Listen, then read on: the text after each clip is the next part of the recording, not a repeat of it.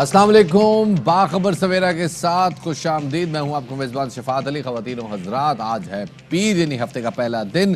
तो जनाज आज आपके साथ ज़रा तफसीली गुफ्तु होगी। दो घंटे तक मेरा आपका साथ रहेगा, यानी कि सुबह नौ बजे से लेके ग्यारह बजे तक। तो इसमें जनाब बहुत सारी बातें करनी है। बहुत सारे इशूज़ हैं जिन पर हम आज नज़र डालेंगे। जो पहला हमारी जो सेशन है, उसमें सबसे पहले तो आज स्कूल खुल रहे हैं। बहुत सारे जो तलबा है, वो अभी मंदी मंदी आँखों से ऐसे मसलते हुए उठेंगे।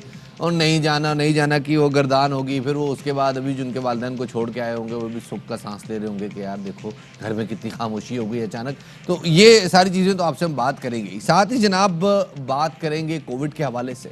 कोविड जो है, उसका जो नया स्ट्रेन है, उसने बरतानिया और अमेरिका में तो कैर ढाया हुआ है। अरे पाकिस्तान अल्लाह का शुक्र अभी तक महफूज है। इस हवाले से बात करेंगे। साथ ही जनाब, घरेलू मुलाजमा पर तशद एक और केस सामने आया है जनाब, और ये केस एक बार फिर सामने आ रहा है जनाब पंजाब से, रावलपिंडी से।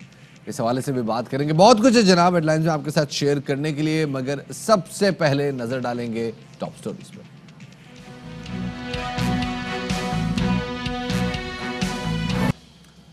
तो जनाब, सबसे पहले बात करते हैं स्कूलों की। तवील इंतज़ार हुआ जनाब। तवील इंतज़ार के बाद फाइनली तालीमी इदारे खुलने की घड़ी आ गई है, जबकि बड़ी क्लासें जो, जिसमें जो है वो नौवीं और दसवीं की, जो फ़िलहाल जो बड़ी क्लासें हैं, वो शामिल की गई हैं। बारहवीं जमात के तलबा जो है, उनकी मौजें ख़त्म जो है, उनकी भी जनाब तालीमी इदारे जो हैं, वो आज से खुल चुके हैं। साथ ही आपको बताते चले कि पचास फ़ीसद से ज़ायद बच्चे एक वक्त में तालीमी इदारों में नहीं आएँगे। हुकूमत की जानब से डिस्ट्रिक्ट मॉनिटरिंग कमेटियाँ भी बनाई गई हैं, जो कि सूरत हाल का जायजा लेंगी। विफाकी वज़ीर तालीम, शफकत महकत महमूद का कहना है कि जहाँ इन्फेक्शन रेट ज़्यादा है, वहाँ स्मार्ट लॉकडाउन नाफिज किया जाएगा। यह भी मुमकिन है कि जहाँ इन्फेक्शन रेट ज़्यादा हो, वहाँ तालीमी इदारे खोले ही ना जाएँ।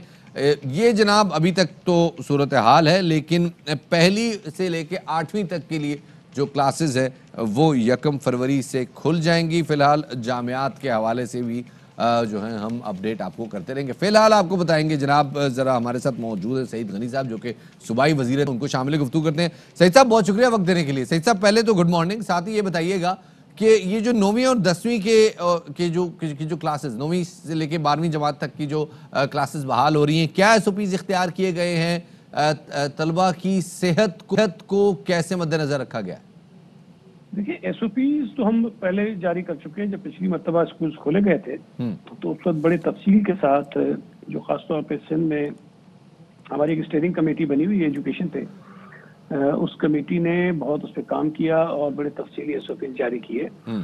तो जो आज से स्कूल खुल रहे हैं उनको उन्हीं एस पर अमल दरामद करने की हिदायत जारी की गई है हम्म। आ, उसमें वालदेन के लिए भी कहा गया है जो ट्रांसपोर्ट है उसके लिए भी कहा गया है जो स्कूल की मैनेजमेंट है उनको भी बताया गया है और बच्चों के लिए भी कुछ हिदायत उसके अंदर मौजूद है तो बड़ी कॉम्प्रिहेंसिव किस्म के एस हैं उस पर हमने कहा है कि अमल दरामद करें और ज़ाहिर है कि हम उसको फिर फॉलो भी करेंगे। हमने डिस्ट्रिक्ट मॉनिटरिंग कमेटीज भी बनाई हुई हैं।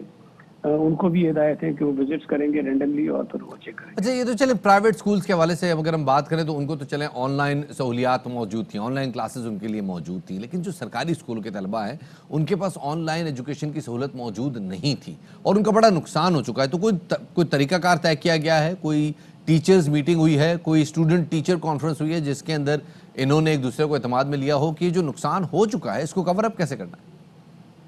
देखिए, जो वक्त ज़ाया हो चुका है उसका सौ फ़ीसद अजाला तो बिल्कुल भी मुमकिन नहीं है, किसी सूरत में मुमकिन नहीं है। हम कोशिश ये करेंगे कि जो वक्त बचा है, उसमें ज़्यादा से ज़्यादा बच्चों को तालीम उनको दे सकें। स्टेयरिंग कमेटी ने ये भी फैसला किया था कि जो गर्मी की तातीलात होनी है, उसको हम दो महीने के बजाय एक महीने का कर दें। लेकिन ये सारी चीज़ें डिपेंड करती हैं कि आगे कोविड की सूरत क्या रहती है। हम्म। अगर स्कूल इसी तरह खुले रहते हैं और बच्चे स्कूल जाना जैसे पहले जाते तो कोविड से पहले उस तरह की नॉर्मल सूरत हो जाती है।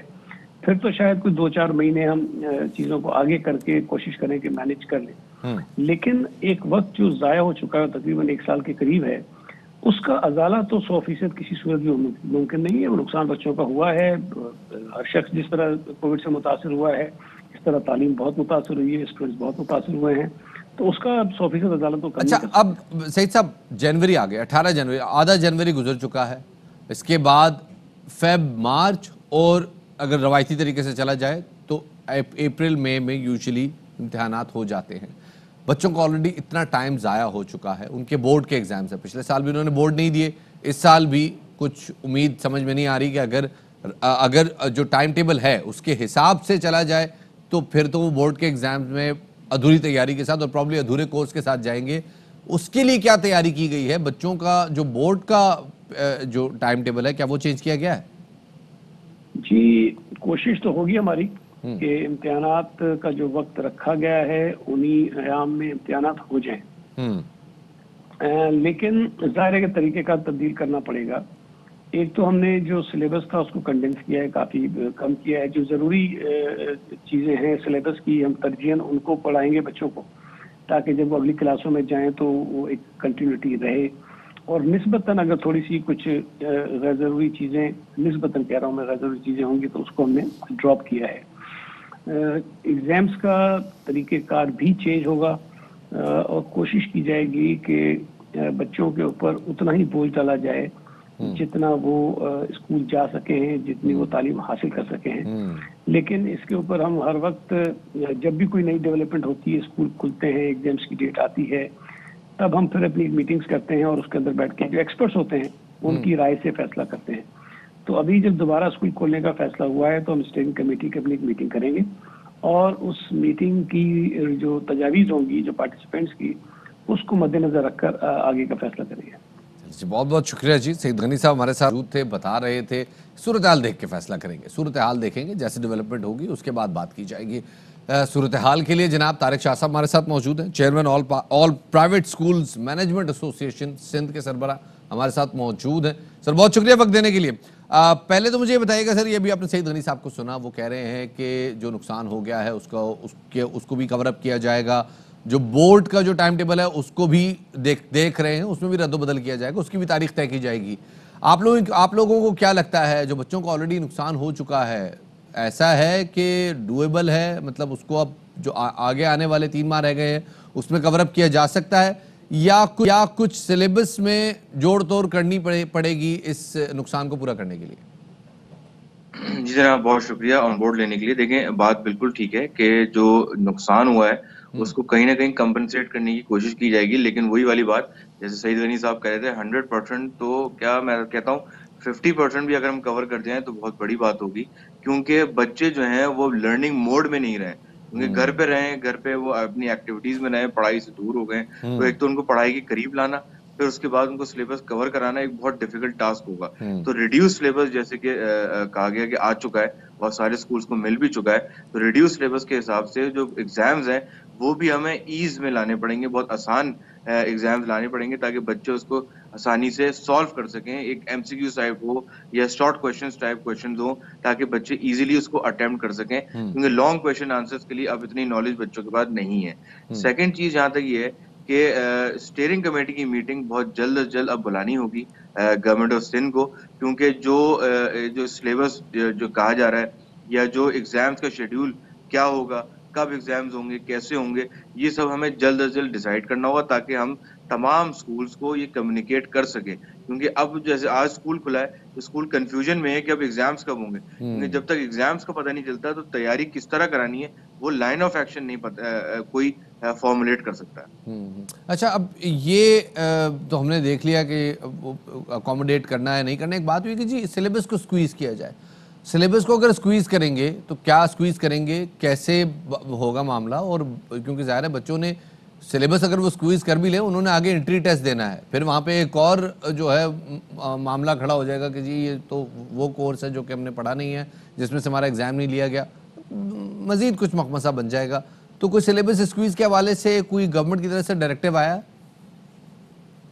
जी जी, बिल्कुल, बाकायदा नोटिफाई हो चुका है। गवर्नमेंट ने जो सिलेबस है, वो रिड्यूस कर दिया है। लेकिन ये आपकी बात को आगे बढ़ाते हुए ये अब कॉलेजेस और यूनिवर्सिटीज को भी नोटिफाई करना होगा कि अब यही सिलेबस है, जिसके मुताबिक आपको एंट्री टेस्ट डिज़ाइन करने। क्योंकि ऑब्वियसली अगर कन्वेंशनल मेथड जो पहले जो एंट्री टेस्ट चल रहे थे आपकी बात बिल्कुल ठीक है कि उससे बच्चों को मुश्किलात आएँगी उन एंट्री टेस्ट के अंदर। तो ये गवर्नमेंट ऑफ़ सिंध का काम है कि वो नोटिफाई करे फेडरल गवर्नमेंट को भी कि हमने कितना सिलेबस रिड्यूस किया हम्म। अच्छा तारिक शाह साहब एसओपीज तो चले आप लोग मेंटेन कर रहे हैं करते आए हैं लेकिन बार बार जब बच्चे इकट्ठे होते हैं तो उसकी वजह से टीचर्स में भी इन्फेक्शन सामने आते हैं बच्चों में भी सामने आते हैं। बच्चों के इन्फेक्शन तो चले वो यंग हैं वो बाज़ अवत रिकवर कर जाते हैं। टीचर्स बाज़ अवत रिकवर नहीं कर पाते और ऐसे हमारे सामने अफसोसनाक वाकयात आए हैं जिनमें टीचर्स इन्फेक्ट हुए हैं और वो जामबर नहीं हो सके। कोई एस ओ पीज़ में तब्दीली की बात की गई है कि कुछ भी हो जाए तालीमी सिलसिले को नहीं रोकना अ, अगर स्कूल में केसेस आते हैं तो एक क्लासेस को आइसोलेट करना है। कोई ऐसे एस वाजे किए गए हैं आप लोगों की जानब से? जी देखिए इनिशियली तो यही तय किया गया था कि जब एस ओ पीज़ बनाए गए थे कि अगर खुदा न खास्ता किसी स्कूल में या कहीं इलाके में अ, वो कोई कोरोना वायरस के ज़्यादा केसेस नज़र आते हैं तो वो उसको स्मार्टली लॉकडाउन किया जाएगा for certain period of time लेकिन अ, जो तालीम को ये देखा गया कि तालीम का ही लॉकडाउन हुआ सिर्फ़ स्कूल्स बंद हुए बाकी शोबे खुले रहे। तो अब हमें यही सोचना होगा कि तालीमी सिलसिले को हमें कंटिन्यूसली लेकिन लेकिन अगर केसेस आ जाते हैं तारक शाह साहब अगर केसेस सामने आ जाते हैं तो फिर क्या किया जाएगा? अगर एक स्कूल में मिसाल के तौर पर डेढ़ सौ बच्चे पढ़ रहे हैं एक साइड में उनमें से पचास इन्फेक्ट हो जाते हैं खुदा न खास्ता। क्या किया जाएगा? नहीं तो स्कूल को बंद किया जाता है। ये पास में हुआ भी है कि जहाँ स्कूल्स के अंदर ज़्यादा केसेस नज़र आए तो उसको टू वीक्स के लिए वन वीक के लिए स्कूल को बंद किया गया और प्रॉपरली डिसइंफेक्ट करके दोबारा बच्चों को वापस लाया गया। हम्म। तो ये सिलसिला पहले भी था और अभी भी यही चीज़ और closely आपकी जानब से कोई मजामत नहीं होगी इस पे? कि हमारे स्कूल्स बंद नहीं नहीं नहीं देखिए इसमें हमारी तरफ़ से एसोसिएशन की तरफ़ से या स्कूल ओनर की तरफ़ से कहीं से भी मुजामत नहीं होगी क्योंकि ऑब्वियसली जहाँ हम कह रहे हैं तालीम ज़रूरी है तो सेहत भी बहुत ज़रूरी है बच्चों की तो हमें दोनों को साथ लेकर चलना बहुत बहुत शुक्रिया जी। तारक शाह साहब हमारे साथ मौजूद के चेयरमैन है all private schools management association Sindh के। यहाँ पर एक अहम खबर शामिल करते चले कराची से जहाँ बच्चों की स्कूल वैन को हादसा पेश आया है। एक बार बताते चले जनाब कि बलोच कॉलोनी पुल के करीब स्कूल वैन को हादसा पेश आया है जिसमें दो तलबा जख्मी हुए हैं। हमारे नुमाइंदे नजीर शाह हमारे साथ मौजूद हैं। जी नजीर। हाँ बिल्कुल देखिए ये बलोच कॉलोनी पुल के करीब उसको, स्कूल वैन थी, जिसको हादसा पेश आया है, जिसके नतीजे में दो तालब इलम मामूली जख्मी हुए हैं। हमारी रेस्क्यू जरा उनसे बात हुई है और उनका ये कहना है कि तेज रफ्तारी के बाद ये हादसा पेश आया जिसकी वजह से वैन एक जो प्राइवेट स्कूल उसके सामने उलट गई, जिसकी वजह से इतराफ में बदतरीन ट्रैफ़िक जाम की भी सूरत हाल है। ट्रैफ़िक पुलिस और मुतल अदारे वहाँ पहुँच चुके हैं और जो दीगर जो उसको रेस्क्यू का अमल है, ये जारी है। जो ईदी जरा उनका कहना है कि अब तक दो इल्मों को स्कूल जिना अस्पताल मुंतकिल किया गया है, जो मामूली जख्मी हैं जबकि दीगर अब इतलात हासिल की जा रही है कि इस वाक़े में मजमूई तौर पर कितने जख्मी हुए लेकिन अब तक सिर्फ़ दो तालिब इल्मों की इतला है, जिनको जिना अस्पताल मुंतकिल किया गया और वह मामूली जख्मी हैं, और इस स्कूल वैन को भी सड़क से हटाकर ट्रैफ़िक को क्लियर करने की कोशिश की जा रही है। जी। बहुत शुक्रिया नजीर शाह इस तमाम हवाले से तफसीलात फराहम करने का। खातिन हजरात यहाँ लेते हैं। एक छोटा सा ब्रेक ब्रेक से जब वापस आएँगे तो बात करेंगे महँगाई की। हमारे साथ रहिएगा।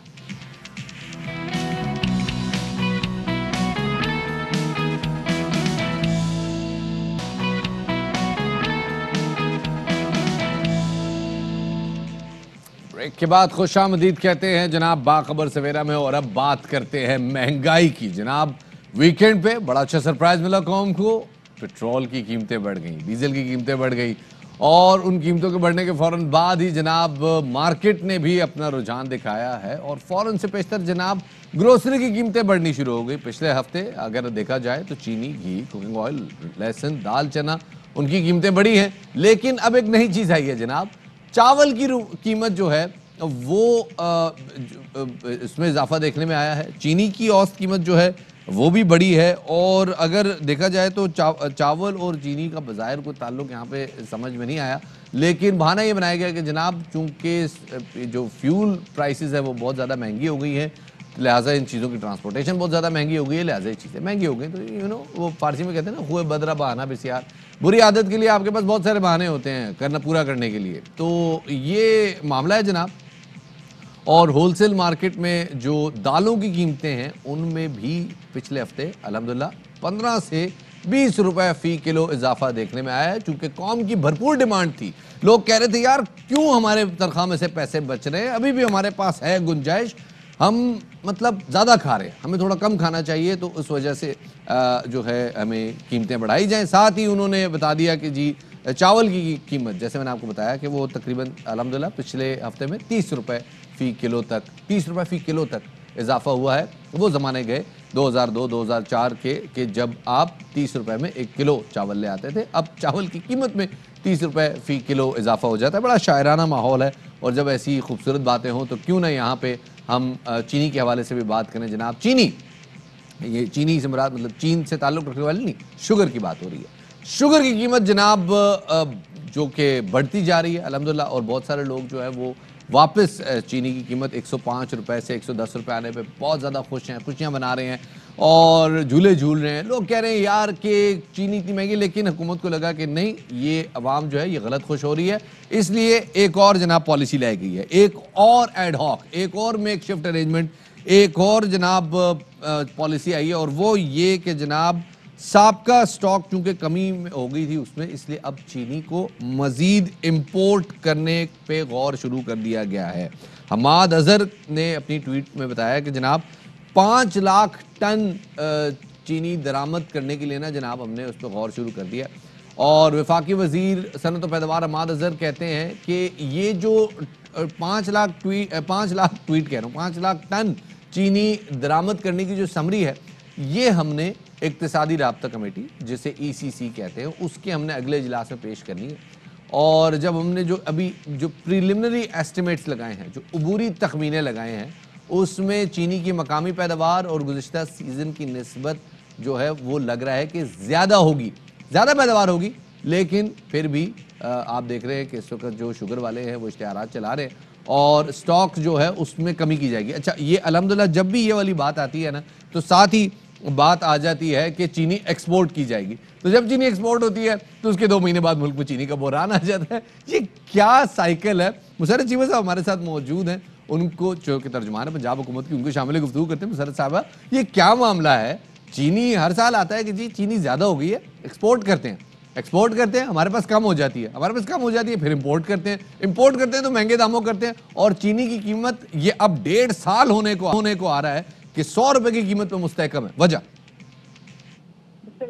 रहीम बहुत शुक्रिया। अ, सबसे पहले तो मैं ये अर्ज़ करूँ कि मैं अच्छी बात से और गुड न्यूज़ से बात शुरू करूँगी और फिर कुछ चीज़ों में वाकई कीमतों में इजाफा ज़रूर हुआ है लेकिन हम ओवरऑल बात करेंगे। जी, जी, तो जी। अगर इस वक्त जब हम बात कर रहे हैं तो inflation decrease by eight percent और ये पाकिस्तान के लिए बहुत अच्छी मैं कहूँ गरीब आवाम के लिए गुड न्यूज़ है और इंशाल्लाह ताला ग्रेजुअली हम तमाम चीज़ों के ऊपर जो आम आदमी के ऊपर जिनका इम्पैक्ट है उसके ऊपर हम काबू पाएँगे। अगर हम महँगाई की शरह पर देखें तो पंजाब हुकूमत की अगर मैं सिर्फ़ बात करूँ तो हमने सूबाई सत्ता पर जो प्राइस कंट्रोल कमेटी तश्कील दी है ताकि जो अशिया जरूरिया ज़रूरत की जो चीज़ें उनकी कीमतों को इस्तेकाम में लाया जा सके और एंटी होर्डिंग के ऊपर आपको पता है कि हमने ऑर्डिनेंस के तहत जखीरा अंदोजों के खिलाफ रिकॉर्ड एक्शन किए। और आटे और चीनी की कीमतों में नुमाया कमी तो लेके आए लेकिन अब थोड़ा सा जो समझने की ज़रूरत है हम्म। हमने पंजाब भर में अ, मुझे पता है कि महँगाई है और इसी चीज़ को मद्देनजर रखते हुए ऊपर सीएम साहब ने कोई तकरीबन 350 हमने सहूलत बाज़ार कायम किए हैं जहाँ पे जो अशिया ज़रूरी जो इम्पोर्टेंट चीज़ें एसेंशियल आइटम्स हैं उनको हम सरकारी निरखों के ऊपर मुहैया करते हैं। अच्छा और अभी अगर साहबा मैं चूँकि आप बात कर रही हैं और आप ख्याल से गुफ्तगू कहीं और चली जाएगी। इंतहाई माजरत के साथ मैं चाहूँगा कि मैं यहाँ पे अपना कुछ इनपुट दे दूँ। अ कॉमन मैन वो मैं मामला सुन लीजिए। चीनी की कीमत का ताल्लुक क्या होर्डिंग से है या शुगर मिल्स मालिकान और किसानों के दरमियान जो एक वॉइड पैदा हो गया है? किसान कहता है जी हम दो सौ रुपए पे गन्ना बेच रहे हैं शुगर मिल्स मालिकान कह रहे हैं कि हम तीन सौ रुपए पे गन्ना खरीद रहे हैं और उसकी बुनियाद पे वो आगे इश्तेहार भी चला रहे हैं कि अगर तीन सौ रुपए पे हम गन्ना खरीदेंगे चीनी की कीमत एक सौ सत्ताईस रुपए एक्समेल हो जाएगी। किसान कह रहे हैं कि जो हम हमसे कीमत ली जा रही है जो हमें कीमत दी जा रही है उसके हिसाब से चीनी की कीमत तिरसठ रुपए होनी चाहिए। आप लोग छापे मार रहे हैं आप होर्डिंग्स पकड़ रहे हैं। कोई ताल्लुक नहीं बनता बजाहिर इंतहाई माजरत के साथ कोई ताल्लुक नहीं बनता। पॉलिसी एंड पे फुकदान नज़र आ रहा है। रिटेल एंड पे फुकदान नहीं है। अगर आपने अगर आप मेरा भी मौकफ ले लेना है। मैं मैं सिर्फ़ सवाल बता रहा कि हूँ पॉलिसी का तजाद है। बिस्मिल्लाह। नहीं नहीं I I disagree with you उसकी वजह ये अच्छा। कि मैं शुगर के ऊपर डिटेल में बताना चाहती हूँ मैं थोड़ी बेस इनिशियल सारी चीज़ों की बता के तो मैं इस पे आना चाह रही थी लेकिन ठीक है हम पहले शुगर की बात कर लेते हैं बाकी चीज़ें मैं बाद में कर लेती जी, हूँ जी, जी। देखें पाकिस्तान की तारीख में फ़र्स्ट टाइम हमने एक तो जो कार्टेल था शुगर माफिया का उसको हमने ना सिर्फ़ ब्रेक किया बल्कि हमने उनके ऊपर हाथ डाला कानून की मदद से। अच्छा। कैसे? हमने लेजिस्लेशन की और पाकिस्तान की तारीख में for the first time crushing season के दौरान तमाम शुगर मिले इस वक्त काम कर रही हैं। वजह यह है कि ड्यूरिंग क्रशिंग सीज़न कोई एक शुगर मिल भी अगर बंद करता है तो योमिया उसको पचास लाख जुर्माना है। इसी तरह ओवर प्राइसिंग सॉरी अगर वो गन्ने की पूरी कीमत नहीं देता जो गवर्नमेंट की तयशुदा है उसके ऊपर फाइन अलग से है। तीसरी बात कि हमने फ़र्स्ट टाइम पाकिस्तान की तारीख में जो काश्तकार है गन्ने का उसको जो अ, अ, इसकी गन्ने की कीमत है वो बैंक के थ्रू हमने ये रेगुलेट किया है मेक श्योर किया है कि वो देंगे। वजह पहले एक, एक रद्दी के पेपर के ऊपर बेचारे किसान को जो गवर्नमेंट का तयशुदा रेट है वो तो सवाल ही नहीं पैदा होता मिलता था और उसके साथ उनका क्रशिंग सीज़न के दौरान गन्ना खरीदा नहीं जाता था। उसका इम्पैक्ट क्या आता था कि गन्ने का वेट कम होता था और ट्रकों की जो लोडर होते थे उनके किराए अलग बढ़ रहे होते थे और औने पौने दामों उनको ब्लैकमेल करके उनके गन्ने का वेट कम करके उनसे खरीदा जाता था खरीदा नहीं जाता था छीना जाता था। हम्म। उसके बाद जो पेमेंट होती थी फ़र्ज़ करे किसी का दस लाख फंसा हुआ है उसको वो कमीशन उनके काट काट के कि अगर हम आपको पैसे तब देंगे जब आप आ, दस की बजाय आठ पे लो। तो किसान को कुछ नहीं मिलता था। ये हम्म। सारे इश्यूज़ हमने हल किए और पाकिस्तान में फ़र्स्ट टाइम क्रशिंग सीज़न के दौरान तमाम शुगर मिले। दे आर वर्किंग कोई एक शुगर मिल भी बंद नहीं है। उसकी अगली रह रहेगी बात कि प्राइस को मजीद नीचे लेके आने के लिए we are working on it हम इंशाल्लाह तमाम चीज़ों को गन्ने को की, कीमत को हमने रेगुलेट किया चीनी को हम करेंगे मजीद इसको डाउन करेंगे। अब इम्पोर्टेंट चीज़ है कि देखें जो चीज़ें हुई हैं ये मैं नहीं कह रही हूँ। जो इंडिकेटर्स हैं ये न्यूट्रल आप किसी से भी अगर जो इकोनॉमिस्ट हैं या जो साहब अगर आप अपना जुमला मुकम्मल कर लें मैं आपकी बात समझ गया आपकी बता रही हैं आप बता रही हैं कि पंजाब हुकूमत ने इकदाम किए हैं सारी मिलें साथ चल रही हैं। ये नहीं नहीं बात मैं, मैं ये मैं फेडरल की बात कर रही हूँ पंजाब की अगर आप सुन ले दो मुझे फिक्रे और बोल लेने जी, जी, फिर आपका सवाल अच्छा हो जाएगा। जी, जी, जी। उसके बाद अगर हम इस हफ़्ते की बात करें तो इस हफ़्ते में महँगाई ज़्यादा नहीं लेकिन zero point twenty two percent फ़ीसद उसमें कमी आई। इस दौरान तेईस अशिया की कीमतें बिल्कुल बढ़ी हैं। सात अशिया की कीमतों में इजाफा हुआ है और इक्कीस अशिया की कीमतों में इस्तेकाम रहा है हम्म। और महँगाई में बतदरीज निस्बतन। मैं कंपैरेटिवली बात कर रही हूँ पहले से थोड़ी कमी हुई है। ये अच्छा। लेकिन महँगाई की शरह अब भी 5.7.7 परसेंट है। Five point seven seven percent है जो कि मुसलसल तेज़ी से नीचे आ रही है अच्छा। देखें हम ये नहीं कहते कि एक दिन में हम इसको अगर ये, देखें इन्फ्लेशन अगर decrease by in a one year eight percent तो ये कोई छोटी बात इसलिए नहीं है कि बहुत बहुत बुरे टाइम से हम अच्छे की तरफ़ ट्रेवल कर रहे हैं लेकिन याद रखो कि तो ग्रेजुअली चेंज आता है वही लॉन्ग लास्टिंग होता है उसका इम्पैक्ट रहता है और आर्टिफिशियल वे में हम कुछ इस तरह के आर्टिफिशियल वे से अगर हम चीज़ों को for the time being pressure को रिलीज़ करने के लिए हम कंट्रोल कर लें वो इम्पैक्ट नहीं होता अच्छा। ये। सारी चीज़ें हम नेचुरल वे में कर रहे हैं और इसमें कोई ऐसी चीज़ नहीं होगी आपने इकोनॉमिस्ट की बात। की कि इकोनॉमिस्ट जो हैं वो आप उनसे एंडोर्स करवा लें। मैं थोड़ा बहुत मीशत पे हम भी जरा बात करते होते हैं। तो जी, जी। सारी दुनिया के इकोनॉमिस्ट ये मानते हैं कि बचत बाज़ार महँगाई का हल नहीं होते। पॉलिसी से कंट्रोल किया जाता है। उस हवाले से राइट जी बड़ा खूबसूरत सवाल है जी। मैंने अर्ज़ किया कि ये सिर्फ़ ये, तो पीनट है ये बचत बाज़ार पूरी पॉपुलेशन के लिए तो है भी नहीं कर भी नहीं सकता जी। ये पीनट उस महरूम तबके के लिए है जिसके लिए दो वक्त की रोटी भी बहुत बड़ा इशू है चैलेंज है। ये आरजी है इट्स नॉट परमानेंट परमानेंट वही है कि हम महँगाई को नीचे लेके आए और लोगों की पर कैपिटा इनकम को बढ़ाएँ। अब इनकम बढ़ाने के लिए अगर आप मुझे अलाउ करो तो मैं दो तीन चीज़ें मेजर मेजर जो चीज़ें वो मैं बता देती हूँ। पाकिस्तान में आप ये देखें कि फ़र्स्ट टाइम हमारे जो टेक्सटाइल जो हमारी इंडस्ट्री है वो अपने जितनी उसकी मैक्सिमम लिमिट थी उससे ऊपर के उनको ऑर्डर्स मिले जिसकी वजह से जो सराउंडिंग जितने भी टेक्सटाइल इंडस्ट्री के डिस्ट्रिक्ट हैं वहाँ पे लेबर इस वक्त मुयसर नहीं है। और अब वहाँ की लेबर जो एक्सपर्ट लेबर है और जो दूसरी लेबर है उनके वेजेस भी बढ़े। उसके साथ अगर हम ये देखें कि लास्ट के मैन्युफैक्चरिंग हमारी जो है वो इंक्रीज हुई है 5.4 परसेंट पे। और आप यू कैन वेल इमेजिन कि लार्ज स्केल में कौन कौन सी इंडस्ट्री आती है इसमें आपकी ऑटोमोबाइल इसमें आपके सीमेंट इंडस्ट्री इससे क्या होना है? रोज़गार लोगों को ही मिल रहा है ना? लेकिन ये जो- सारे मामला एक तरफ़ सर साहब महँगाई में कमी आप बता रही हैं कि कमी शायद निस्बतन आ रही है लेकिन आवाम को नहीं लग रहा कि महँगाई में कमी आ रही है। आपकी पॉलिसीज़ आपके इकदाम एक तरफ़ लेकिन चीनी की कीमत बदस्तूर सौ रुपए से ऊपर है।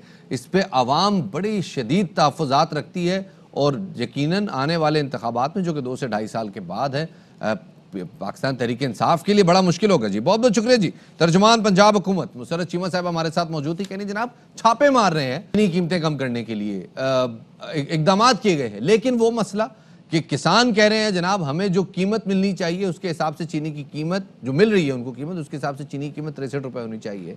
जो कीमत मिल्स मालिकान क्लेम कर रहे हैं कि वो दे रहे हैं, उसके हिसाब से चीनी की कीमत मिल्स मालिकान के मुताबिक एक सौ सत्ताईस रुपए होनी चाहिए।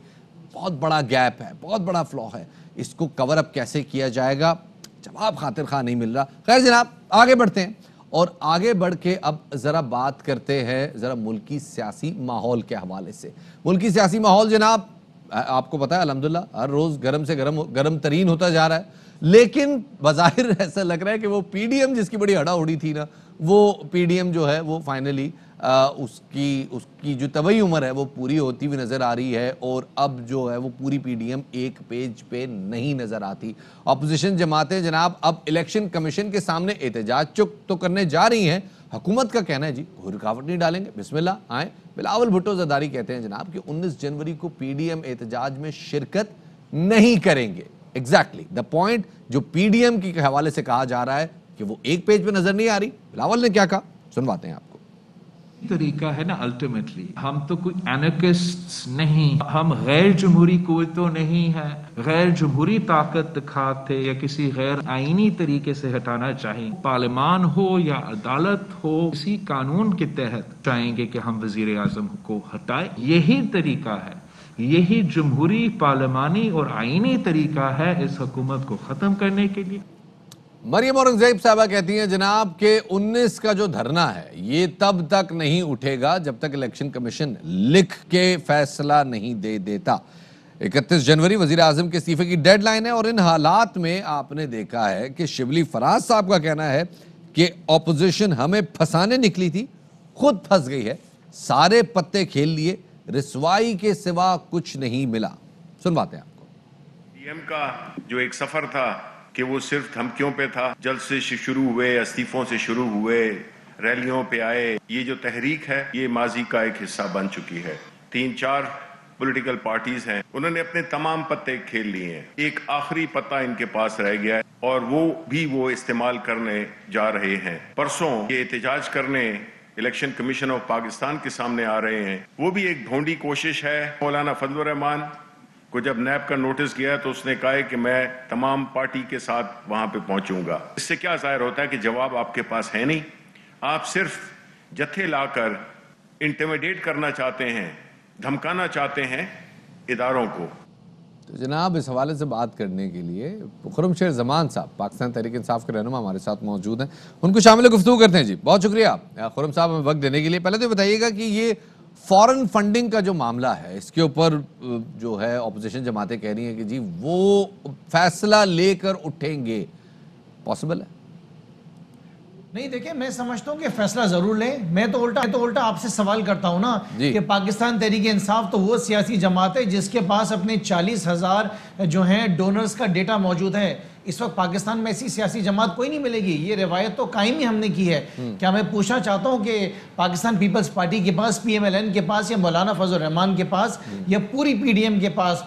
क्या उनके पास अपनी तमाम जो फॉरेन जो उनकी जो उनके डोनर्स हैं उनका डेटा उनके पास मौजूद है? इनके पास किसी का डेटा मौजूद नहीं है। क्या पीपल्स पार्टी बता सकती है क्या नवाज़ शरीफ बता सकता है कि आज तक जितनी इलेक्शन कैंपेन्स हुई हैं उनके डोनर्स कहाँ पे हैं उनका पैसा कहाँ से है? ये तो वाहिद सियासी जमात है जो कि हमारे तो अकाउंट्स भी ऑडिट हैं ऑडिटेड हैं। हमारे पास तो ऐसी जो है एक अला मैार की हमारे पास ऐसी जो, जो है कंपनीज़ मौजूद हैं जो कि हमारे ऐसी फर्म्स मौजूद हैं जो कि हमारे अकाउंट्स का ऑडिट कर रही हैं। ये किसके पास ऐसा निज़ाम मौजूद है? किसी के पास भी नहीं है। तो अलहमदिल्ला ये लाए जाएँ इनसे जितने हिसाब किताब लेने इन्होंने हमसे लें हम देने को तैयार हैं। लेकिन इसके बाद हम अब चाहते हैं कि इलेक्शन कमीशन जो है बाकी तमाम सियासी जमातों से भी पाकिस्तान में आप ऑडिट की बात कर रहे हैं। तो जो आप ही के लोग जो ये दरखास्त लेके गए थे इलेक्शन कमीशन में उनका तो मौकफ ही यही था कि जनाब ऑडिट करवाया जाए क्योंकि उन्हें मशकूक अकाउंट्स नज़र आ रहे हैं। ये तो चले मामला इलेक्शन कमीशन में है। हम देखते हैं कि क्या इसका नतीजा निकलता है। अल्लाह करे जल्द निकले छह साल तो हो गए नहीं निकल रहा। लेकिन अगर पीडीएम की बात करें वहाँ पे जनाब वाज स्प्लिट नज़र आ रहा है। बिलावल कहते हैं, वो तो शिरकत ही नहीं करेंगे। आपको क्या लग रहा है कि पीडीएम खत्म हो गई? खत्म शुद्ध? नहीं देखिए मैं समझता हूँ बिलावल क्या पूरी पीडीएम के अंदर भी के अंदर भी ना तो जमहूरी और ना तो गैर जमहूरी तरीके से आ, पाकिस्तान तरीके इंसाफ को कहीं भी घर के या कहीं भी भेजने का दम है। इतना दम इनके अंदर मौजूद नहीं है। आ, इतनी जुर्रत रखने के लिए और इतना विजन रखने के लिए आपके साथ लोग होने चाहिए। इनके पास लोग कहाँ हैं? ये क्या कर सकते हैं? किस बेसिस के ऊपर जो हमें घर भेजना चाह रहे हैं? क्या पाकिस्तान आज तरक्की कर रहा है? पाकिस्तान की इकॉनमी बेहतर हो रही है? पाकिस्तान का स्टॉक एक्सचेंज जो है वो बुलंदी तक पहुँच गया है। पाकिस्तान के अंदर जो है वो स्किल्ड लेबर की शॉर्टेज हो गई है। पाकिस्तान की फैक्ट्रीज चल रही है। पाकिस्तान के अंदर जो है, रोज़गार लोगों को मिल रहा है। पाकिस्तान का पूरी दुनिया के अंदर मैार बेहतर हो गया। इस वजह से घर भेजना चाहते अवाम तो इनसे खुद सवाल कर रही है कि चाहते क्या हो? हमारा तो मकसद था ना कि जब हमने एहतजाज किए थे, हमारा एहतजाज था कि चार हलकों को खोल दिया जाए और अगर वहाँ पर धांधली हुई है तो इलेक्शन का निज़ाम बेहतर कर लिया जाए ताकि आइंदा वापस ऐसा ना हो। इनका मकसद क्या है? इनका मकसद ये ये एन चाहते हैं, इनको एनआरओ मिल जाए, इनके जो लूटा हुआ पैसा मुल्क का, वो इन दोनों के पप्पा डैडी को जो है वो माफ़ कर दिया जाए और, ज़ाहिर है कि उसके बाद ये अपने घर चले जाएँगे।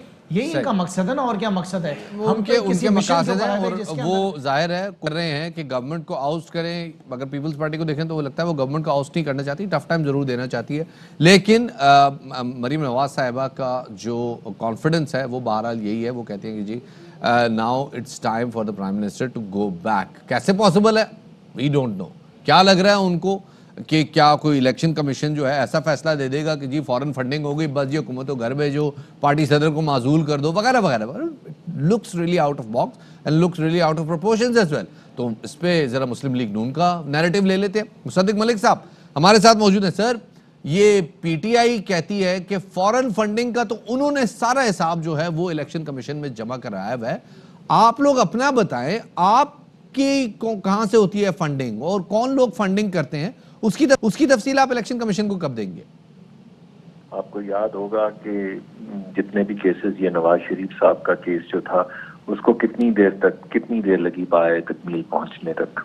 इसी तरह आपको याद होगा कि सादिया अब्बासी साहिबा को सेनेट से डिस्क्वालीफाई कर दिया गया था और हारून साहब को डिस्क्वालीफाई कर दिया गया था कि उनकी ड्यूल नेशनैलिटीज हैं। तो वो सारे केस चलने में कितनी देर लगी थी? ये 2014 से केस चल रहा है फॉरेन फंडिंग का। आज 2021 हो गए। इससे आपको अंदाज़ा हो जाना चाहिए कि ये जो पीटीआई बात कर रही है इसमें कहाँ तक सदाकत है।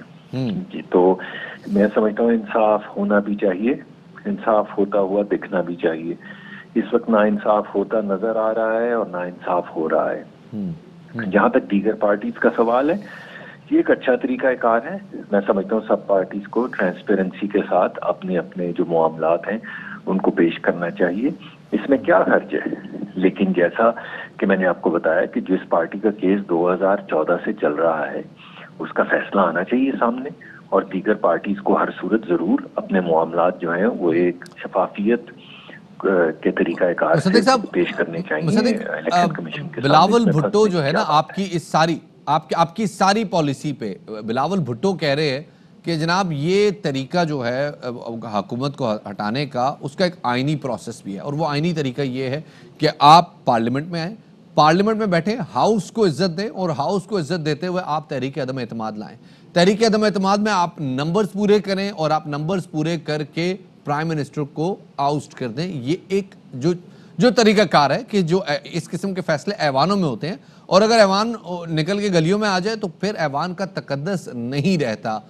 पीडीएम क्या बिलावल भुट्टो की इस बात से मुतफिक करती है? मुस्लिम लीग मुस्लिम लीग नून क्या इसमें ऑन बोर्ड है? देखिए मुस्लिम लीग नून का नुकता नज़र बहुत वाजे है।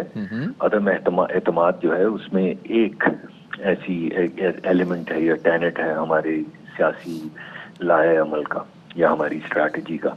उसके अलावा हमारे पास बहुत से और तरकश में तीर हैं। मसलन हमने बड़े बड़े जलसे जो हैं वो किए हैं उनसे हुकूमत पे प्रेशर पड़ा है। अब हम डिस्ट्रिक्ट लेवल के ऊपर काम कर रहे हैं रैलीज की हैं हमने जिनसे काफ़ी असर पड़ा है। लॉन्ग मार्च एक और एलिमेंट है जो हमारे पास है हम जब चाहेंगे करेंगे। तो धरना देना जो है वो हमारा सियासी और आईनी हक है अगर हम ज़रूरत महसूस करेंगे।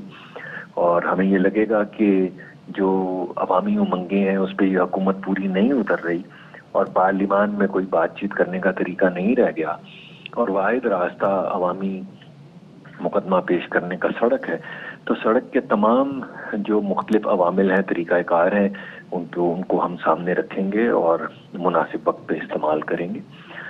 जो पीपल्स पार्टी कह रही है, वो ज़रूर अपना मुकदमा लेकर आए।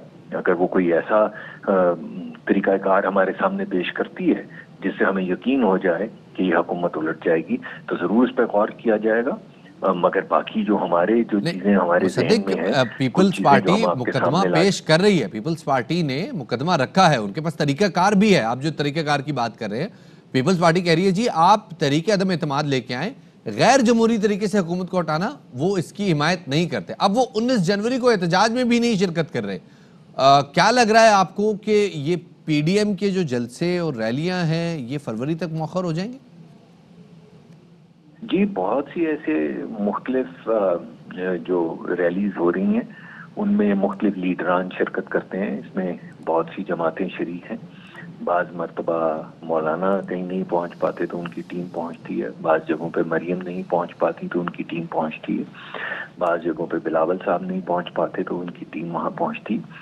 मगर हर जगह के ऊपर बड़ी जो लीडर्स होते हैं, बड़ी जो जो हमारे चीता चीता लीडर्स हैं, वो हर रैली को लीड करते हैं और यही हो रहा है। इसमें तो कोई अनोमली नहीं है। अभी तक मुझे कोई अनोमली नहीं नज़र आई। और ये फैसला पीडीएम ही करेगी कि कोई भी सही टाइम किस एक्शन का सही टाइम क्या है। बहुत बहुत शुक्रिया जी मुसद्दिक मलिक हमारे साथ मौत थे, बता रहे थे कि जनाब ये सिर्फ़ वक्त तय करेगा कि किस एक्शन का सही टाइम और सही लाया अमल क्या है। पीडीएम कुछ सोच रही है। लग यही रहा है कि पीडीएम बड़ा एक्शन चाहती है। बड़ा एक्शन हो नहीं रहा। कैसे होगा? ये तो 19 तारीख से जब जलसा या धरना शुरू होगा इलेक्शन कमीशन के बाहर, तब देखेंगे क्या होता है। फ़िलहाल, मैं और आप लेते हैं एक छोटा सा ब्रेक ब्रेक के बाद दोबारा आपसे मुलाकात होगी। हमारे साथ रहिएगा।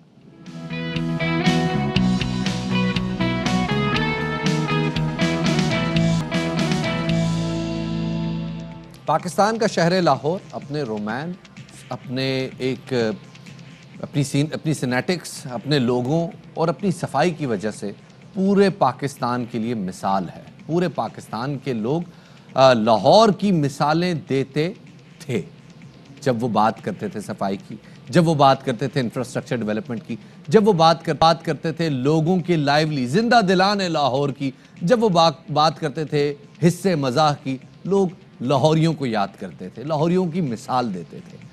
वो शहर लाहौर किसी सगे बदखू की नज़र खा गई है जनाब उसको। वो लाहौर पिछले दो सालों में, जो कि साफ़ और सफ़ाई में एक मिसाल बना हुआ था पूरे पाकिस्तान के लिए जनाब, उस लाहौर का अब कचरा देख के इंसान परेशान हो जाता है। ब्रेक के दौरान हम अपने रिपोर्टर से बातचीत कर रहे थे और मेरे रिपोर्टर जिस जगह पे खड़े हैं, मैं पहचान नहीं पाया कि ये वही इलाका है जहाँ पाँच साल पहले तक मैं रात गलियों में घूमा करता था और मैं वहाँ पे वॉक किया करता था और हम दोस्तों के साथ मिलके बाजू का बाइकों पे निकल जा निकल जाते थे। यकीन नहीं आता कि आज वो फूलों का शहर कचरे के अंबार में तब्दील हो गया है और लाहौर वालों, आपको लाहौर का दुख देख के कराची वालों के दर्द का अंदाज़ा हो गया होगा कि जब कराची वाले अपने प्यारे सोने कराची को, वो कराची जिसको कुछ अरसा पहले तक यूरोप का टुकड़ा कहा जाता था। जब उस कराची को वो कचरे के ढेर में तब्दील होता देखते तो उनके दिलों पे क्या गुजरती है। लाहौर की जनाब जो हालत है, उसकी, उनके शहरियों की कूड़ा करकट से जान नहीं छूट रही। क्या सूरत हाल है लाहौर की? हमारे नुमाइंदे अलमास हमारे मौजूद हैं, जौहर टाउन, लाहौर से। अलमास, बहुत शुक्रिया वक्त देने के लिए। ये बताइएगा, जरा हमारे नाजरीन को, ये आपने कोई कचरे का ढेर प्रिसाइसली ढूंढा है? कि यार मैं यहाँ बैठ के वीडियो बनाऊँगा या ये कोई एक पार्क शार्क कोई नॉर्मल गुजरगा जी टाइप जगह? आ, नहीं शफात ये मैंने कोई इसे ढूँढने वाली कोई ऐसा तगोदो नहीं की। ये लाहौर का जोहर टाउन है जोहर टाउन में ये डी ब्लॉक है और ये डी ब्लॉक की ये, ये जहाँ पे मैं इस वक्त खड़ा हूँ ये डुअल कैरेज कारपेटेड रोड है। और ये इसमें एक शानदार ग्रीन बेल्ट भी हुआ करती थी। लेकिन इस वक्त मेरा कैमरामैन आपको दिखाए तो ये सड़क आपको पता नहीं चलेगा कि ये वाकई ही यहाँ पे कभी सड़क थी, थी कारपेटेड रोड ये वाकई ही मैं आपको सही कह रहा हूँ कि यहाँ पे आप खुद भी इस जौहर टाउन में डी ब्लॉक में आप यकीनन आप घूमे होंगे।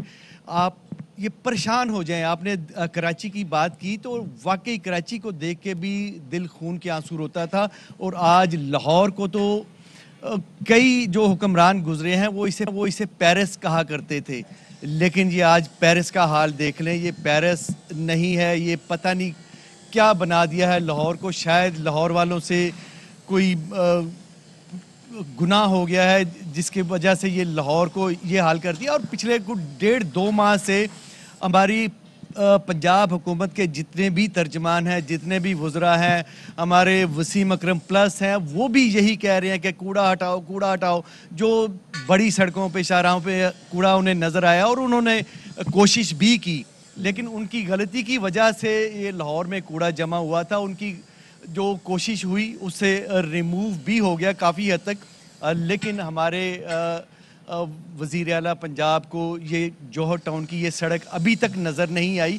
ये डुअल कैरिज रोड है ये पता नहीं क्यों नहीं उन, उनकी आँखों से ओझल होगी। है क्योंकि एक अजीब सी बात मैं कहूँ फिर वो आप कहेंगे कि ये सियासी हो गया। मैं सियासी बिल्कुल नहीं हूँ। रिपोर्टर सियासी नहीं होता उसकी कोई पॉलिटिकल एफिलिएशन नहीं होती। बिल्कुल आपका काम है सर रिपोर्ट करना जो सच्ची बात है आपका काम है दिखाना। हाँ जी हाँ यहाँ पे पिछले डेढ़ दो माह से जब से ये तुर्की की कंपनीज़ जो दो हैं, उनसे ये कॉन्ट्रैक्ट ख़त्म हुआ है, तब से लाहौर तो बिल्कुल जैसे लवारस हो गया है। रूटीन में पाँच हज़ार टन लाहौर से कचरा इकट्ठा होता है और उन्हें ठिकाने लगा दिया जाता है, जो जहाँ पे भी डंपिंग स्टेशन है। लेकिन 10 15 20 दिन इन्होंने उन ना कंपनी से उनको पैसे दिए ना उनसे निगोशिएशन की ना उनसे उन, उन, उनकी मशीनें लेके जो एग्रीमेंट का हिस्सा था उनसे लेके उल्टा उन पे इल्ज़ाम लगा दिया कि ये जाते जाते अपनी मशीनें भी कहीं डंप कर गए कल हम- हमारे मियाँ असलम साहब से हम इस हवाले से बात कर चुके हैं पिछले हफ़्ते और उन्होंने तो ओके की रिपोर्ट दी थी कि जनाब कचरा साफ़ हो जाएगा। कोई अब आपको इम्कान नज़र आ रहा है कि आने वाले चंद हफ्तों में शायद ये सारा कचरा जैसे मरकजी इशाराओं से तो साफ़ हो गया, बाकी जगहों से भी हो जाएगा? जी हाँ मरकज़ी शाहराहों से तो बिल्कुल साफ़ हो गया। ये लाहौर की एक सड़क है। इस, जो अभी आपने वक्फे में मुझसे बात की कि क्या ये सब्जाजार है? ये सब्जाजार सब्जाजार में भी ऐसी सड़कें हैं कई ऐसी सड़कें हैं जहाँ पे उसकी की बात है और अल्लाह करे जनाब लाहौर साफ़ हो जाए। बहुत बहुत शुक्रिया। अलमास हमारे नुमाइंदा मौजूद है खातन हजरात अब यहाँ पे लेते हैं एक छोटा सा ब्रेक। ब्रेक के बाद दोबारा हाजिर खिदमत होंगे। फ़िलहाल जनाब वक्त हो गया है हेडलाइन सुनने का। हेडलाइन सुन के वापस आते हैं। हमारे साथ रहिएगा।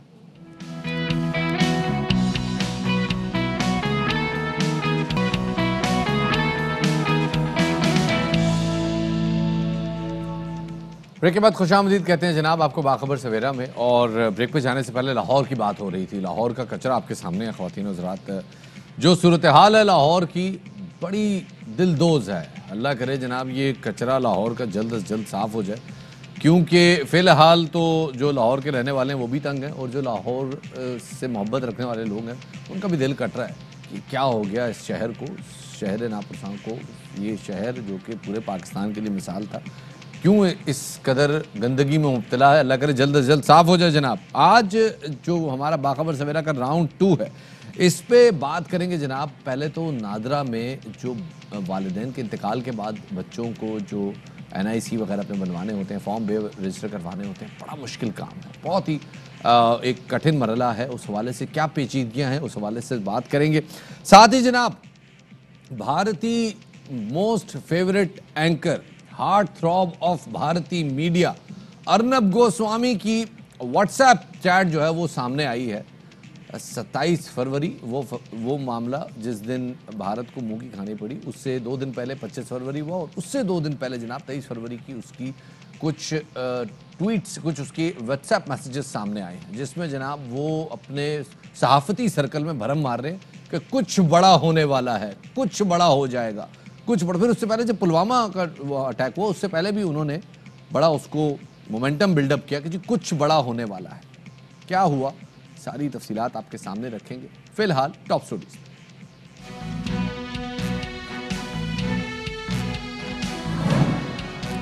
वालदेन के इंतकाल के बाद बच्चों का बेफॉर्म और शनाख्ती कार्ड बनवाना कड़ी आजमाइश से कम नहीं। यतीम बच्चों की नादरा में रजिस्ट्रेशन अहम मसला है। फौरी तवज्जो और रहनुमाई की ज़रूरत है। पुलवामा में भारतीय ड्रामा बेनकाब। मोदी के मनपसंद साफी अर्नब गोस्वामी के व्हाट्सएप मैसेजेस ने भांडा फोड़ दिया। भारत के खिलाफ पाकिस्तान का एक और मौकफ दुरुस्त निकला। महँगाई पर काबू पाने की कोशिशें रंग ला रही हैं। दिसंबर 2019 के मुकाबले में 2020 में महँगाई में कमी आई है। मीशत तरक्की की राह पर गामजन मजीद बेहतरी की उम्मीद है। कराची की फजा धुंधलाने लगी। रोशनियों का शहर दुनिया के आलूदा तरीन शहरों में शामिल हो गया। एयर क्वालिटी इंडेक्स 300 से जायद रिकॉर्ड किया गया। सबसे पहले बात करते हैं जनाब, एक बड़ा अहम मसला कि जी नादरा का वो बे फॉर्म बनवाना होता है। वो बे फॉर्म बच्चों के दाखिले के लिए भी चाहिए, वो बच्चों की आगे एजुकेशन के लिए भी चाहिए होता है। बच्चों का शनाख्ती कार्ड बाद में बनना है, पासपोर्ट बनना है, उस सबके लिए बे फॉर्म रिक्वायर्ड है। बे फॉर्म आ, वैसे अल्लाह सलामत रखे जिन बखे जिन बच्चों के माँ बाप सलामत है उन लोगों के लिए तो बड़ी आसानी से बन जाता है। लेकिन वालदेन अगर ना हो या बच्चा जो है वो आ, उस, उसके पास रिकॉर्ड ना हो तो ऐसी सूरत में बड़ा मुश्किल हो जाता है और उसके लिए जो पेचीदगियाँ हैं वो काफ़ी ज़्यादा है। कानूनी सरपरस्तों की जनाब तलाश होती है। कानूनी सरपरस्त कौन है? उनका बच्चे से ताल्लुक़ क्या है? बच्चे के साथ वो किस वो किस तरह से उसके गार्डियन है? इस हवाले से बातचीत होती है और लोग फिर अदालत से रुजू करते हैं और फिर अदालत में एक और जो है लंबा प्रोसेस है। क्योंकि नादरा का जो कानून है उसमें यह है कि बेफॉर्म के असूल के लिए बच्चों के वालदेन में को, को सामने हाजिर होना पड़ता है। उनकी इन पर्सन अटेंडेंस होती है उनके अंगूठे लगते हैं, उसके बाद जाके जो बायोमेट्रिक तस्दीक के बाद बच्चे का बे फॉर्म बनता है। लेकिन अगर ऐसा ना हो तो क्या होता है? इस हवाले से बात करने के लिए हमारे साथ जनाब फ़ाइक चाचर साहब मौजूद हैं। उनको शामिल गुफ्तु करते हैं। फ़ायक साहब, बहुत शुक्रिया वक्त देने के लिए। नादरा के तर्जुमान है, हमारे साथ मौजूद हैं। सर, पहले तो ये बताइएगा, अगर किसी बच्चे के वालदेन नहीं हैं तो क्या तरीका कार है? किस तरह से वो अपना बे फॉर्म बनवा सकता है? किसी के वालदे ना हो और और ऐसे बच्चों का जो है वो बिल्कुल शनाख्ती कार्ड बन सकता है। इस सूरत में जो है वो कोई ब्लड रिलेशन या जो खूनी रिश्तेदार होता है, वो आता है उनके साथ और शनाख्ती कार्ड अप्लाई करता है और इसमें कोई कदगन नहीं है और किसी किस्म की जो है वो इम्पेडिमेंट्स नहीं आएँगे। और नादरा स्टेट अवे जो है शनाख्ती कार्ड इशू करता है। अच्छा बताइएगा कि जो बच्चों का जो तालीमी मरहला, ऐसे बच्चे जो कि यतीम हैं, उनको अपने तालीमी मरहला को अगर उनका बेफॉर्म नहीं बना हुआ और ब्लड रिलेटिव कोई ऐसा जो कि कानूनी सरपरस्त भी हो, पहले तो उसको कानूनी सरपरस्ती भी साबित करनी पड़ती है। उस, वो भी अगर ऐसे अवेलेबल नहीं है तो ऐसे बच्चों का फिर तालीमी मरहला कैसे जारी रहेगा? यतीम बच्चों का जहाँ जहाँ तक यतीम बच्चों का बेफाम का ताल्लुक है बेफाम इशू करने का ताल्लुक है जो स्कूल में जिसकी ज़रूरत होती है हम्म। उसके लिए आ, हमारे नादरा ऑर्डिनेंस के सेक्शन नाइन के तहत जो है वो पॉलिसी जो है बिल्कुल वजह की गई है इस सूरत में जो है वो उस बच्चे का चूँकि बच्चे का बेफाम वालदेन अप्लाई करते हैं माँ हो या बाप हो तो उस सूरत में जो है अगर माँ बाप नहीं होते हैं तो बेफाम किसी ने अप्लाई करना है। हम्म। बच्चा खुद अप्लाई नहीं करता बेफाम। तो लिहाजा शनाख्ती कार्ड तो खुद अप्लाई कर सकता है क्योंकि वो बालिग होता है अठारह साल की एज क्रॉस कर चुका होता है। मगर चूँकि वो अंडर 18 होता है तो उसके लिए फिर होता ये है कि एक हमारे यहाँ section nine of NADRA ordinance के तहत एक सरप्रस्त का तयन होता है जो कोर्ट करती है। और ये गार्जियन कोर्स हमारे यहाँ बिल्कुल क़याम पजीर हैं और वो उनमें अप्लीकेशन देते हैं और कोई भी रिश्तेदार हो या जो जो भी कोर्ट उन सरपरस्त मुकर करेगी, फिर वो सर्टिफिकेट इशू होता है, वो नादरा में आते हैं। नादरा जो है फिर उनके नाम से, सरपरस्त के नाम से बेफाम उनका बच्चे का इशू करते हैं और तालीम में किसी ये बताइएगा आपने बात की कि कानूनी सरपरस्ती इसके लिए तो आपको गार्डियन कोर्ट जाना पड़ेगा कानूनी सरपरस्त खुद को बनवाना पड़ेगा। कानूनी सरपरस्त बनने के लिए क्या मराहल है? और दूसरा फिर ये करीबी रिश्तेदार जब ये कानूनी सरपरस्त बन जाए तो फिर ये कैसे अप्लाई करते हैं बेफॉर्म? जी बिल्कुल मैंने बिल्कुल मैंने पहले भी अर्ज़ किया कि करीबी शनाख्ती करीबी रिश्तेदार जो है वो सरपरस्त तो कोर्ट ही बनाएगी। वो नादरा का जो है वो वो प्रिविलेज नहीं है, वो कोर्ट का प्रिविलेज है। कोर्ट ही मुकर करती है सरपरस्त मगर चूँकि शनाख्ती कार्ड अप्लाई होता है तो शनाख्ती कार्ड और बेफाम में फ़र्क है। शनाख्ती कार्ड 18 साल की उम्र हो जाती है तो बाद में अप्लाई होता है। तो उसमें कोई भी खूनी रिश्तेदार, कोई भी ब्लड रिलेशन जो है, वो नादरा में आता है और वो बच्चे का जो है वो अप्लाई करता है। या बहन भाई हो, बड़ा भाई हो या बड़ी बहन हो वो आके जो है नादरा में अटेस्टेशन देते हैं और उनका शनाख्ती कार्ड अप्लाई हो जाता है। अच्छा अब बता दें कि वो बच्चे जिनके पेरेंट्स में सेपरेशन हो चुकी है वालदा के शनाख्ती कार्ड में शौहर का नाम दर्ज नहीं है। तो ऐसे मौके पे फिर जब वो बच्चा अगर शनाख्ती कार्ड बनवाने जाता है और उसका पेरेंट उसकी लट से वालदा या उसके वालिद जो हैं, अगर वो सेपरेटेड सिंगल पेरेंट है तो उनको क्या दुश्वारी पेश आ सकती है? जी बिल्कुल ऐसे इस किस्म के प्रॉब्लम प्रॉब्लम्स बहुत ज़्यादा आते हैं। आ, आ, ये अभी मैं क्लियर करना चाहता हूँ कि अगर बीवी का स्टेटस अपडेट नहीं हुआ हुआ नादरा में और वो अनमेरिड है और हमारे यहाँ अगर अनमेरिड होगी तो बच्चा हम रजिस्टर नहीं कर पाएँगे। तो उसके लिए लाजमी ये है कि वो बीवी जो है वो निकाह नामे की कॉपी ले आएँ नादरा दफ्तर में आ जाएँ और अपना जो है वो आ, कोई भी अपना वालदेन में से या बहन भाई में से कोई साथ ले आए जो अटेस्टेशन देगा तो वो स्टेटस पहले अपडेट होगा उनके शनाख्ती कार्ड पे शोहर के नाम से शनाख्ती कार्ड बनेगा। तो उसके बाद जब शनाख्ती कार्ड बन जाएगा स्टेटस अपडेट हो जाएगा तो वो बेफॉर्म आराम से अप्लाई कर सकती हैं वो भी, भी माँ भी अप्लाई कर सकती हैं अगर बाप मौजूद नहीं है आराम से हो जाता है वो। आराम से। शुक्रिया जी, हमारे साथ मौजूद रहने के लिए। हमारे साथ फाइक साहब मौजूद थे, जो कि तर्जुमान थे नादरा के। यहाँ पे एक ताज़ा खबर शामिल करते हैं। जनाब, वज़ीर अजम इमरान खान का ट्वीट सामने आया। कहते हैं, जनाब, मैंने 2019 में अकवा मुतहदा की जनरल असम्बली में बयान दिया था कि मोदी हुकूमत ने बालाकोट बहरान को इंतबात के लिए इस्तेमाल किया। पाकिस्तान के खिलाफ भारतीय अजायम बेनकाब करते रहेंगे। ट्वीट में वज़ीर अजम इमरान खान ने कहा कि भारतीय मीडिया ने मोदी हुकूमत की असलियत वाजे कर दी। एक बार फिर बताते चले वज़ीर आज़म इमरान खान ने एक ट्वीट किया है, जिसमें उनका कहना है कि उन्होंने अकवा मुतहदा की जनरल असम्बली में 2019 में बयान दिया था कि मोदी हुकूमत ने बालाकोट बहरान को इंतबात के लिए इस्तेमाल किया। पाकिस्तान के खिलाफ भारतीय अजायम बेनकाब करते रहेंगे। वज़ीर आज़म इमरान खान ने कहा कि भारतीय मीडिया ने मोदी हुकूमत की असलियत वाजे कर दी। और अब जनाब बात करते हैं उस मामले की, जो कि जिसने पहले तो बात यह कि पाकिस्तान की अस्करी महाज पर बरतरी साबित की भारत पर। अल्हम्दुलिल्लाह पाकिस्तान एयरफोर्स ने बड़ा मुँह तोड़ जवाब दिया था। हमारा फ़ख्र है, हमारा प्राइड है जनाब। सत्ताईस फरवरी का वो वाक़ ऑपरेशन स्विफ्ट रिटॉर्ट, जो जवाब था जनाब भारतीय बालाकोट हमले का। और भारतीय बालाकोट हमले, हमला जो था, उसके लिए जवाब पैदा किया गया था पुलवामा हमले का। पुल, पुलवामा ड्रामा निकला। पाकिस्तान निशाना था। किसी और ने नहीं जनाब। मोदी सरकार के सबसे चहीते टीवी एंकर अर्नब गोस्वामी, उनके जनाब व्हाट्सएप मैसेजेस सामने आए और उसने भांडा फोड़ दिया। अर्नब गोस्वामी के मैसेजेस में जनाब जो सामने आए, वो किसी ग्रुप में चैट कर रहे हैं और उसमें, उस चैट में उन्होंने बताया है कि भारत ने अपने फौजियों पर हमला खुद किया और उन्हें मरवाया।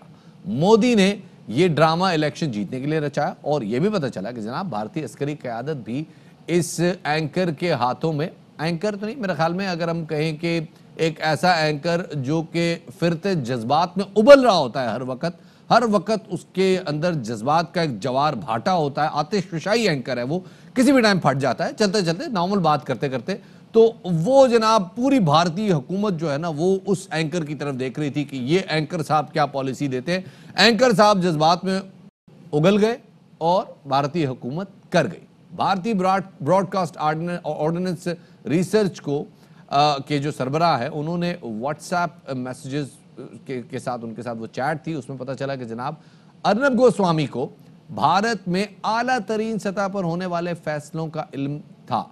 अर्नब न सिर्फ़ बालाकोट हमले पर, उससे पहले जो आर्टिकल 370 के खात्मे से भी आगाह था, और 23 फरवरी 2019 को अर्नब ने बीएआरसी के सरबराह को जो कि भारतीय ब्रॉडकास्ट रिसर्च एसोसिएशन, उसके सरबराह को पाकिस्तान से मुतालिक बड़ी खबर की पेश की इतला दे दी थी, और अर्नब ने यह भी बताया, जो कि उनके व्हाट्सएप मैसेजेस में, कि पाकिस्तान के खिलाफ अब मामूल से बड़ी कार्रवाई होगी। यहाँ जो लोग अर्नब के इस बैकग्राउंड से वाकिफ नहीं उनको बता दूँ, ये अर्नब साहब 2018 से 2018 से चीख रहा था surgical strike surgical strike surgical strike Arnab का ये बैंटर इतना मकबूल हुआ कि इसको जनाब उस वक्त जब नरेंद्र मोदी अपनी इंतबी कैंपेन कर रहे थे तो उन्होंने भी इसको शामिल कर लिया। जी, कि हम पाकिस्तान में घुस कर वार करेंगे घुस कर वार करेंगे। वो वार तो जनाब उन्होंने, पता नहीं क्या, हमारे दरख्त थोड़े से तोड़ दिए और एक कौवा जांबाक हुआ उसके नतीजे में, जिसका हमें बहुत ज़्यादा अफसोस है, पाकिस्तानी कौवा,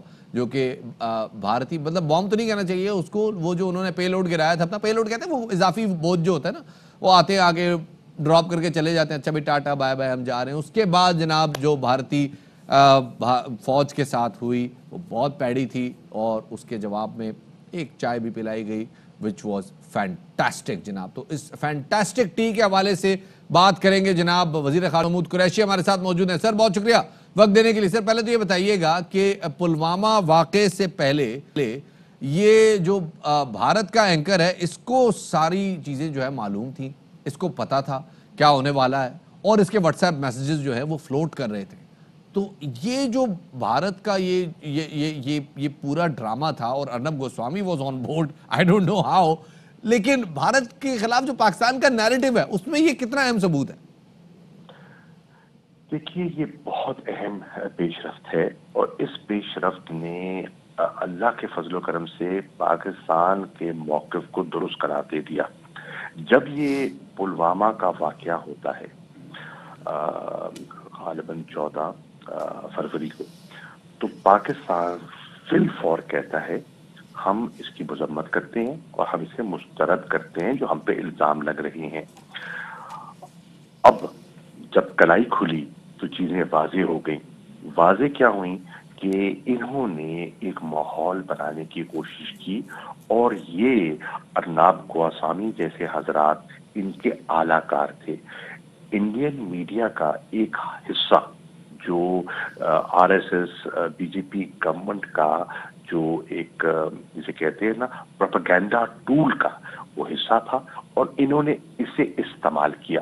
खबरें बनाने के लिए खबरें देने के लिए और एक माहौल बनाने के लिए मकसद क्या था? मकसद सियासी फवायद हासिल करना था। हम्म। जो उनकी गिरती हुई साख थी जनरल इलेक्शन से पहले आपके इल्म में है कि पाँच रियासतों में बीजेपी गवर्नमेंट को बुरी तरह सियासी मार पड़ी थी। हम्म। और वो बहुत परेशान थे। इकोनॉमी हम्म। ठीक नहीं जा रही थी और मसाइल आ रहे थे। अंदरूनी कशमकश थी अकलीतें नाखुश थी। तो अपोजिशन का प्रेशर बढ़ रहा था। तो उससे तवज्जो हटाने के लिए एक आसान रास्ता था पाकिस्तान बैशिंग अब पाकिस्तान बैशिंग के लिए माहौल बनाना था। हम्म। उस माहौल के लिए इन्होंने ऐसे हजरात को इस्तेमाल किया और एक बयानिया बनाया कि पाकिस्तान ये ये जो ऑपरेशन कर रहा है और पाकिस्तान हमारे साथ ये तजावुज कर रहा है ये फॉल्स फ्लैग ऑपरेशन था। और मेरे कई खतूत हैं जो मैंने सलामती काउंसिल को लिखे अकवा मुतहदा को लिखे जिसमें बारहा इनको हम वार्न करते रहे बताते रहे कि ये इनके इरादे हैं। और अल्लाह ने किया इन इंकशाफात से हमारी ये बातें सच्ची साबित हो गई। नंबर एक। नंबर दो आप देखिए चौदह नवंबर को मैंने एक प्रेस कॉन्फ्रेंस की और एक डॉसियर पेश किया। उस डॉसियर में मैंने कहा कि हमारे पास इरिफ्यूटेबल शवाहिद हैं कि हिंदुस्तान दहशत गर्दी की पुष्ट बनाई कर रहा है। हम्म। पाकिस्तान में पाकिस्तान को डिस्टेबलाइज करने की उनकी कोशिश है। बलूचिस्तान में जो हो रहा है और इलाकों में जो हो रहा है। किस तरह वो हमारे पड़ोस की सरजमीन को इस्तेमाल करता है? फिर आप देखें कि जो यूरोपियन यूनियन की डिस इन्फो लैब है उसने इंकशाफ कर दिया। अब ये चीज़ें हमारे कंट्रोल में नहीं है जो कुछ आज लेकिन लेकिन शाह साहब आपने डोजियर दिया। आपने अकवाम आलम के सामने सबूत रखे। लेकिन सिक्योरिटी काउंसिल की कमेटियाँ बनी।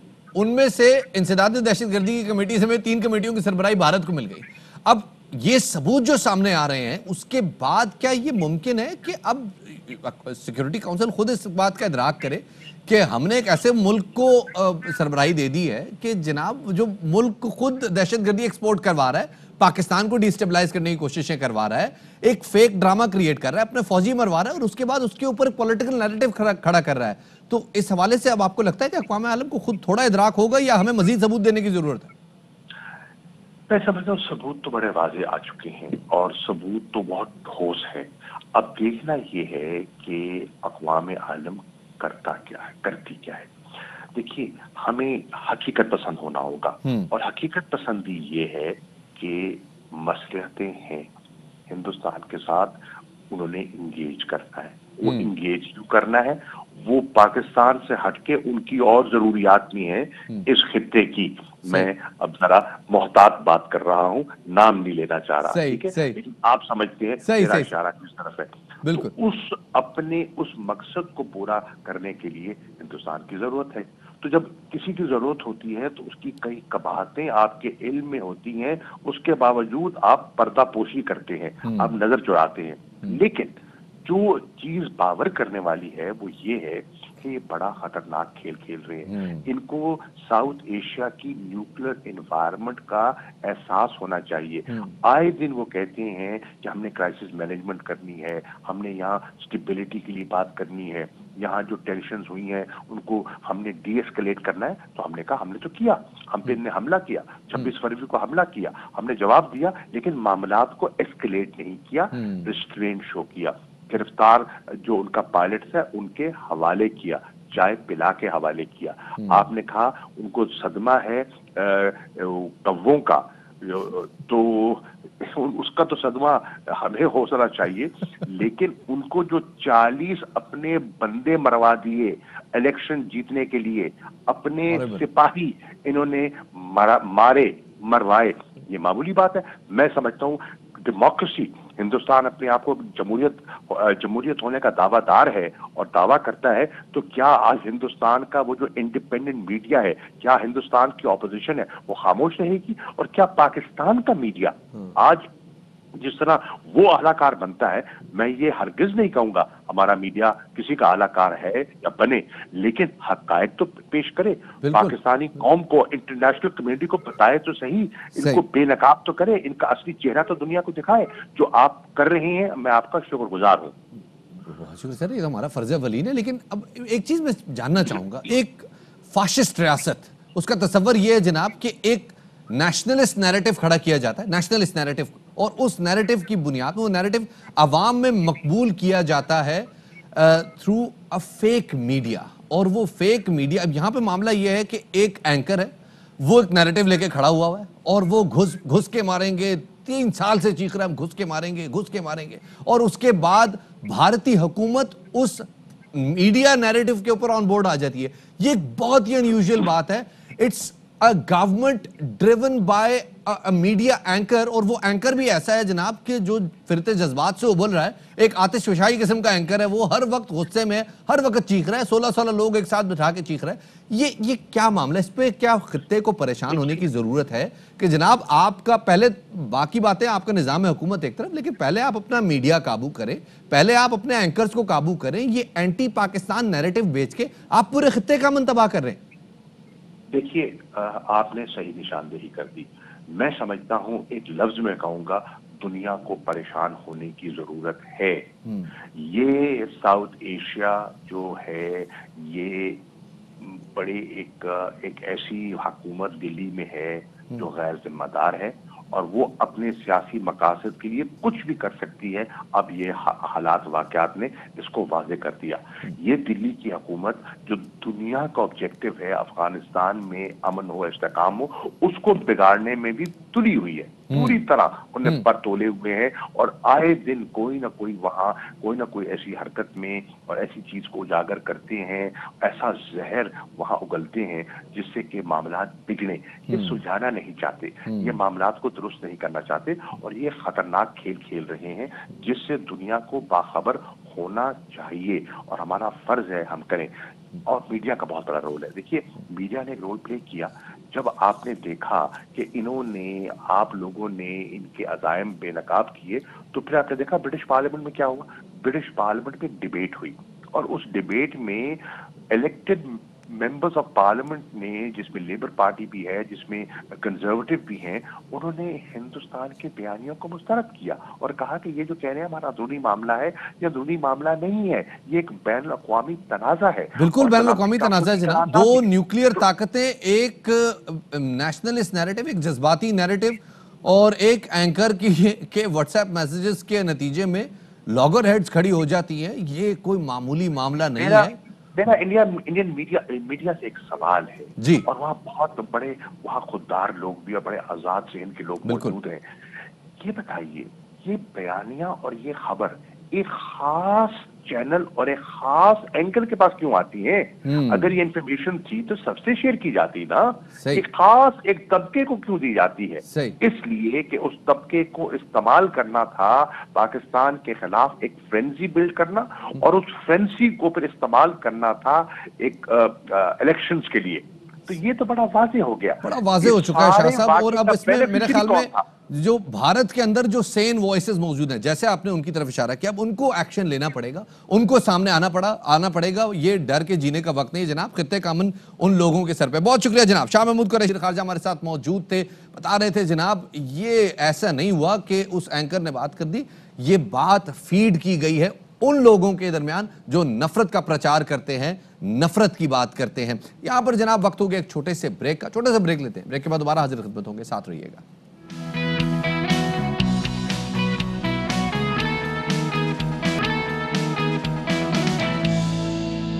ब्रेक के बाद खुश आमदीद कहते हैं, जनाब बाखबर सवेरा में महँगाई तो बहुत बढ़ रही है जनाब, और बहुत ज़्यादा बढ़ रही है। लेकिन मीशत के हवाले से एक हल्की सी उम्मीद की किरण नज़र आई है। महँगाई मसला तो बहुत बड़ा है। लेकिन दिसंबर 2019 के मुकाबले में अगर 2020 को कंपेयर किया जाए तो महँगाई में थोड़ी सी कमी आई है। मुझे पता है आप लोग जो वहाँ घरों में बैठे हैं वो कह रहे होंगे कि भाईजान अगर आदाद शुमार ठीक हुए हैं तो हमें क्या फ़र्क पड़ा? लेकिन बहरहाल फ़र्क पड़ेगा लॉन्ग टर्म में थोड़ा सा आपके सामने आदाद शुमार रखते हैं जनाब। दिसंबर में बारह अशारिया छः फ़ीसद थी दिसंबर अ, 2020 में दिसंबर 19 में बारह छः थी दिसंबर 20 में ये जनाब कम होकर सात के सात अशारिया नौ फ़ीसद आ गई। थोड़ी सी स्टेबिलिटी आई है। इसी तरह एफ़ बी आर की वसूलियाँ जो है, जो वो पैसा जो कि गवर्नमेंट के पास आता है, जो कि अल्टीमेटली गवर्नमेंट ने आप पे खर्च करना है, उसमें इजाफा हुआ है। 2019 में टैक्स वसूली जो ओवरऑल रही थी, वो तकरीबन चार हज़ार अरब रुपए रही थी, और जो दिसंबर 2020 में है जनाब, वो पाँच सौ आठ अरब रुपए तक पहुँची है। बरामदाद में जनाब, वो काफ़ी नुमाया इजाफा हुआ है। 2019 के अगर दिसंबर को कंपेयर करें 2020 के तो बरामदाद में जनाब एक हज़ार नौ सौ तिरानवे मिलियन डॉलर जो हैं, वो पिछले दिसंबर में थी, यानी कि 19 के 20 के दिसंबर में ये दो हज़ार तीन सौ सत्तावन मिलियन डॉलर तक पहुँच गई हैं। फिगर बड़ा नॉमिनल सा है, लेकिन बहरहाल ये इंप्रूव हो रहा है। जो सबसे ज़्यादा अच्छी इंप्रूवमेंट है, वो है रेमिटेंसेस के हवाले से इनफ्लो के हवाले से, जो डॉलर आ रहे हैं बाहर से। वो जनाब, इस साल तो तकरीबन दो अरब डॉलर महाना पे स्टेबिलिटी लग रही है कि आ गई है। और ज़र मुबादला के ज़खायर जो है, वो बीस अशारिया दो पाँच चार डॉलर से तजावज़ कर गए हैं। ये सारे आदाद शुमार क्या कहते हैं? ये आदाद शुमार क्या ये बता रहे हैं कि जनाब स्टेबिलिटी आ गई है ऑल इज़ वेल या अभी इम्प्रूवमेंट की गुंजाइश मौजूद है? जनाब हमारे साथ मौजूद हैं माहिर मीशत और इनको कौन नहीं जानता? इनका तारफ़ कराना मेरे ख्याल में अ, मेरे मेरे लिए बड़ी बात है जनाब सलमान। शाह साहब हमारे साथ मौजूद हैं। शाह साहब बहुत शुक्रिया वक्त देने के लिए। शाह साहब एक, एक जो आदाद शुमार है जो फिगर्स हैं वो गुडी गुडी है। लेकिन जो आवाम की सूरत हाल है वो बैडी बैडी है। तो इसको मैनेज कैसे करेंगे? मतलब हमें मुतमिन हो जाना चाहिए कि ये जो अभी मोमेंटम बिल्डअप हो गया है ये कंटिन्यूड रहेगा और आवाम को अल्टीमेटली वो ट्रिकल डाउन इफ़ेक्ट मिल जाएगा? जी आई थिंक एक चीज़ तो बड़ी खुशाइंद है कि ये सारे एक मुस्बत डायरेक्शन में जा रहे हैं पॉइंटर्स लेकिन हमें भूलना नहीं चाहिए कि 2000 2018 में हम एक दिवालियापन में थे और पाकिस्तान बैंक मुल्क हो चुका था। क्योंकि आपको पता है कि तकरीबन हमारे पे 100 अरब डॉलर का बैरून मुल्क कर्जा था। और हमारा जो करंट अकाउंट डेफिसिट यानी कि हमारे तजारती खसारा तो तकरीबन 40 अरब का था। और रेमिटेंसेस के बाद फिर भी हमारे पास 20 अरब डॉलर का खसारा था जो हमारे पास डॉलर्स नहीं थे। और जो हमारे कर्जा जात थे उनकी तकरीबन किस्त दस हज़ार दस अरब डॉलर बनती है। तो ये टोटल तकरीबन तीस अरब डॉलर का बिल था जो आपको आया हुआ था जो आपने पे करना था। और आपके रिजर्व्स में सिर्फ़ दस अरब डॉलर थे। तो आप देख सकते हैं कि उससे इकॉनमी जो है वो बिल्कुल एक किस्म की शटर थी उसका कॉन्फिडेंस शटर था।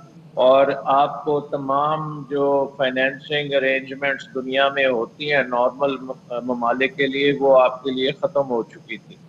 और कुछ मुल्कों ने हमारा साथ दिया जो उन्होंने तकरीबन 11-12 अरब डॉलर दोस्त ममालिक से लिए गए। फिर आईएमएफ प्रोग्राम हुआ, उसके साथ साथ फिर इंटरनेशनल फाइनेंशियल इंस्टीट्यूशंस जिसमें World Bank Asian Development Bank और दूसरे आलमी इदारे शामिल हुए, जिन्होंने तकरीबन कमिटमेंट तीस से चालीस अरब डॉलर की कमिटमेंट्स की हैं, ताकि आपका जो कर्जे हैं, वो डिफ़ॉल्ट से बच सकें। और उसके नतीजे में आपने रिफॉर्म्स करने की ज़रूरत थी जो बड़ी कड़वी रिफॉर्म्स थी और ये सबको पता है कि उसकी वजह से एक तो डिवेल्युएशन आपकी करेंसी की हुई और एक्सचेंज रेट जो है वो मार्केट बेस्ड हुआ। दूसरी तरफ़ आपको इंटरेस्ट रेट बढ़ाना पड़ा कि वो भी मार्केट बेस्ड इंटरेस्ट रेट्स हो।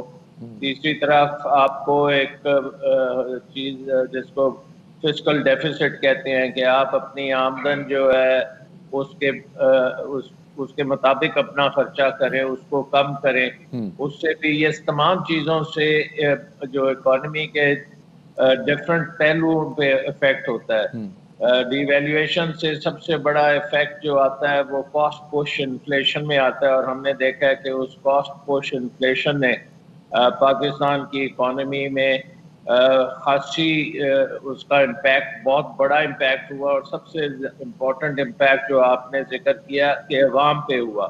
उसकी वजह से हर चीज़ महँगी होती है क्योंकि आपकी एनर्जी महँगी हो जाती है और एनर्जी के साथ साथ जितनी भी इम्पोर्टेड चीज़ें हैं वो महँगी होती हैं इम्पोर्टेड इनपुट्स महँगी हो जाती हैं और फिर डोमेस्टिक जो कीमतें हैं वो इम्पोर्टेड कीमतों की तरफ़ चल पड़ती हैं। तो ये तमाम चीज़ें हमने बर्दाश्त की पोलिटिकली भी गवर्नमेंट ने बर्दाश्त की और अवाम ने तो सबसे ज़्यादा बर्दाश्त किया। लेकिन अब आप देख रहे हैं कि ग्रेजुअली ये कॉस्ट पुश इन्फ्लेशन जो है, ये ख़त्म हो रही है क्योंकि ये अब उसका इम्पेक्ट इकॉनमी में एक साल जो पूरा लगता है उसको फ़िल्टर थ्रू करने में वो मुकम्मल होता जा रहा है। साहब ये ये तो कुछ अच्छी बात है इंडिकेटर्स कुछ आ रहे हैं लेकिन मैशियत ग्लोबली अगर हम देखते हैं तो मैशियत कुछ सेक्टर्स में होती है। कुछ सेक्टर्स में बूम आता है जिसके बाद सारे सेक्टर जो जितनी भी एफिलिएटेड इंडस्ट्रीज़ होती हैं वो सब की सब चल पड़ती है। कंस्ट्रक्शन सेक्टर के हवाले से अ, हमने रिफॉर्म्स तो दिए लेकिन आपको क्या लगता है कि कंस्ट्रक्शन सेक्टर में जितना जितना सेलिब्रेट किया जा रहा था उसको के रिफॉर्म्स आए हैं एक्टिविटी होगी, क्या उतनी एक्टिविटी हुई? साथ में बहुत सारी दीगर चीज़ें हैं, जैसे रोशन पाकिस्तान अकाउंट्स हैं, उनको बड़ा सेलिब्रेट किया जा रहा है। जी डॉलर इन्फ्लोज मुस्तकम हो गए दो बिलियन पे। इसी तरह एक्सपोर्ट्स को कॉटन एक्सपोर्ट्स को, बड़ा जो टेक्सटाइल एक्सपोर्ट्स हैं, उनको सेलिब्रेट किया जा रहा है। आपको लगता है कि ये इकदाम काफ़ी हैं और अब वो स्टेबिलिटी अचीव हो गई है? या हमें सात परसेंट की जीडीपी तक जाने के लिए कुछ मजीद इनकलाबी इकदाम करने पड़ेंगे? देखिए, एक तो ये है कि जो भी हमने कड़वी दवाई ली है, वो अब उसका असर हुआ है और उससे आपकी सेहत अब बेहतर होनी शुरू हुई है। और उसमें सबसे इम्पोर्टेंट चीज़ ये है कि जो पेंडेमिक हमारे पूरी दुनिया में फैला हुआ है उसकी मैनेजमेंट जो पाकिस्तान में हुई है वो बड़ी इकोनॉमी के पॉइंट ऑफ़ व्यू से बहुत अच्छी हुई है और उससे जो डिसरप्शन बाकी दुनिया में आनी थी वो पाकिस्तान में उस तरह से नहीं आई। सो हमारे का, कारखाने चलते रहे हैं हमारे खेतों पे काम होता रहा है तकरीबन बाज़ार भी चलते रहे हैं। कुछ सर्विसेज़ सेक्टर में इम्पैक्ट आया है जिसमें जिसकी वजह से आप देख रहे हैं कि थोड़ी सी इकोनॉमिक ग्रोथ में कमी आई है। लेकिन हमारी एक्सपोर्ट्स जो हैं वो बूम कर रही हैं रेमिटेंसेस बूम कर रही हैं। और फैक्ट्रीज के ऑर्डर्स अच्छे चल रहे हैं और ये एक एक ऐसी डायरेक्शन में हम आ रहे हैं कि स्टेबिलिटी के साथ हम ग्रोथ भी ले रहे हैं। और इसका ये बहुत ही इम्पोर्टेंट चीज़ है कि स्टेबिलिटी भी है और ग्रोथ की तरफ़ भी हम जा रहे हैं और अब इसका जो आपने ज़िक्र किया कंस्ट्रक्शन इंडस्ट्री का इसमें आप देख लें कि तमाम इंडिकेटर्स जो हैं कंस्ट्रक्शन इंडस्ट्री के साथ तकरीबन 40-50 डिफरेंट इंडस्ट्रीज़ होती हैं। उसमें आप देख लें कि सीमेंट की जो प्रोडक्शन है, वो सब्सटेंशली ज़्यादा है। उसके साथ स्टील की है, उसके साथ जितने भी ये इनपुट्स हैं कंस्ट्रक्शन के, वो सारों में बहुत इजाफा आ रहा है और वो शो करता है कि इकोनॉमिक एक्टिविटी कंस्ट्रक्शन में बहुत बढ़ गई है। उसके साथ जो डीरेगुलेशन हुई है, उसमें जो परमिशन होती हैं फ्रॉम डिफरेंट डेवलपमेंट अथॉरिटीज उसमें बहुत ज़्यादा इजाफा हुआ है और वो रिफॉर्म्स की वजह से अब 30 डेज़ के अंदर अंदर इन अथॉरिटीज ने अप्रूवल देनी होती है। साथ साथ बैंकों ने सरकारी प्रोसेस भी तेज हुआ है और इकोनॉमिक एक्टिविटी भी हो रही है तो इंडिकेटर्स भले अभी फ़िलहाल प्लस में है लेकिन अच्छी बात यह है कि साथ में स्टेबिलिटी भी है। यानी आवाम को बहरहाल इन दी एंड इसका ट्रिकल डाउन इफ़ेक्ट ज़रूर मिल जाएगा। सलमान शाह साहब, बहुत शुक्रिया हमारे साथ मौजूद थे, जनाब। और बात कर रहे थे हम जरा मीशत के हवाले से, जो खबरें आ रही हैं, क्या कह रही हैं वो खबरें, और वो खबरें बहरहाल इतनी ज़रूर हैं कि फ़िलहाल शायद अवाम ने वो जो कड़वी गोली थी उसकी कड़वाहट अभी भी बाकी है। वो, वो कड़वी गो, कड़वी गोली हमने निगल तो ली थी साल दो साल पहले लेकिन उसके बाद से जो स्टेबिलिटी की जानब है वो हम पहुँच गए जैसे सबका द्वार में होता था कि तरक्की तो होती थी लेकिन स्टेबिलिटी का जो है वो थोड़ा सा मामला गड़बड़ रहता था जिसकी वजह से करंट अकाउंट डेफिसिट हमारे सामने था। अब चूँकि हम थोड़ा सा उस पर स्टेबल हो गए हैं लिहाजा इंडिकेटर्स थोड़े से पॉजिटिव नज़र आ रहे हैं। लेट्स सी जनाब आवाम को कब बेनिफिट मिलता है और ये जो बार बार की मिसमैनेजमेंट्स हैं कमोडिटीज़ की, ये कब मैनेज होती हैं, हम भी गौर करते हैं, आप भी गौर करें। ब्रेक के बाद मिलते हैं।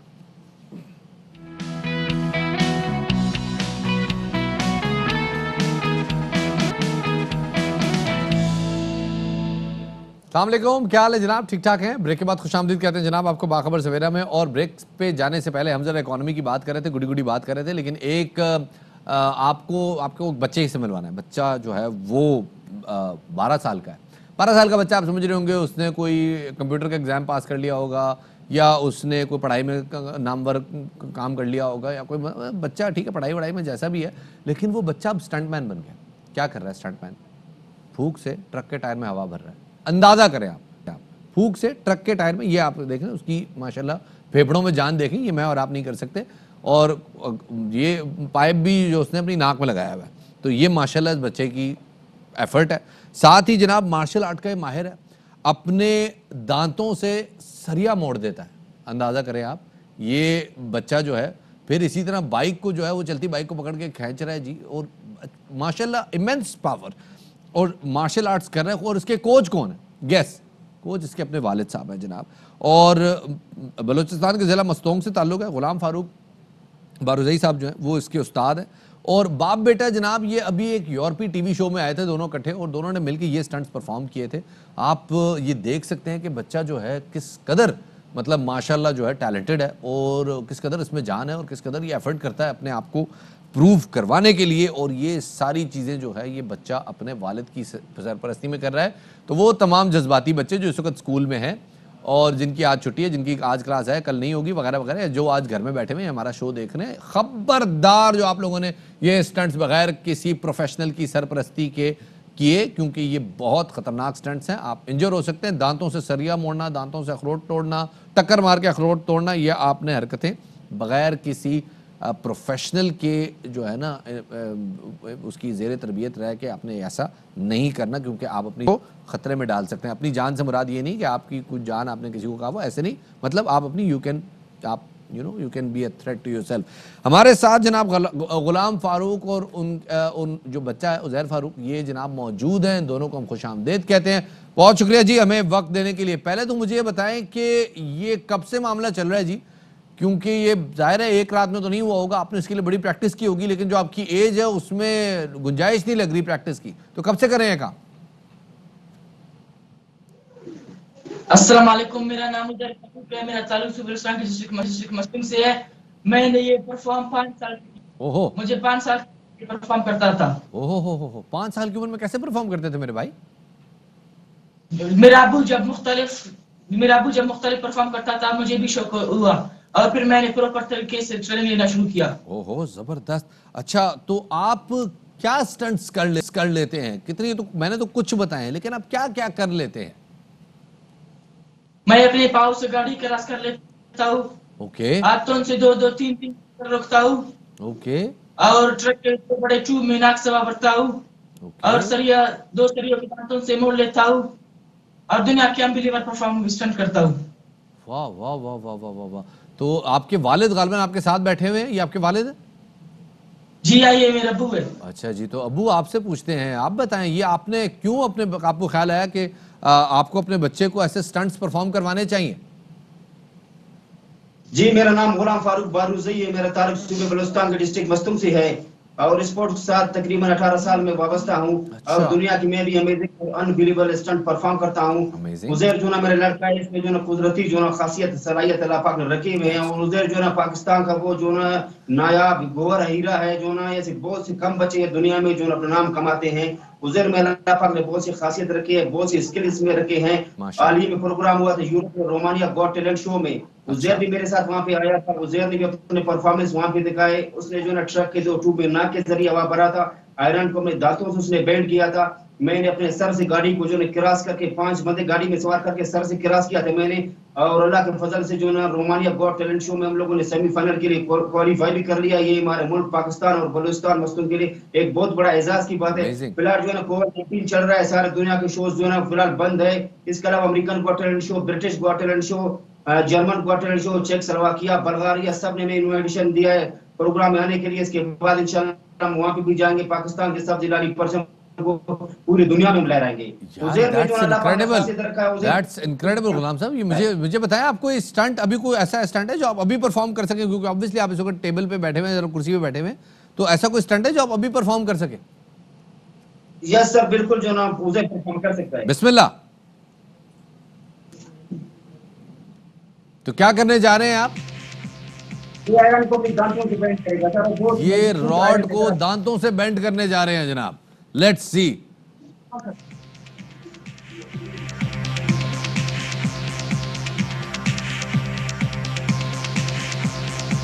ओ माशा। ओ ओ ओ इनक्रेडिबल ओए होए होए हो हो माशाल्लाह माशाल्लाह दैट्स इनक्रेडिबल दैट्स अच्छा ये क्या है जनाब? ये फरीफान है सर जिसमें अंडे वगैरह पकाते हैं बहुत मज़बूत चीज़ें इसको भी इसको भी अपनी ताकत से जोड़ा ये बैंड करेगा आप देख सकते हैं बिल्कुल ओके फ्रैंक पैन को जनाब ये ताकत से अपनी बेंड करेंगे। आ जाए जी उजैर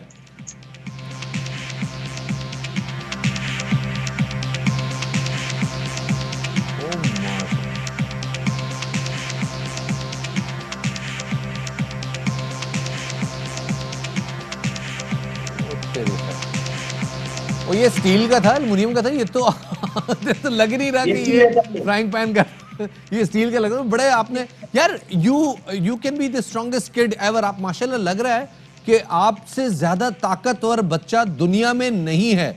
आपने कोई ऐसा रिकॉर्ड ब्रेक करने की कोशिश की है? कोई ऐसी बात कोई प्लान रखा हुआ है? कि आप अपने आप को as strongest kid ever introduce करवाएँ?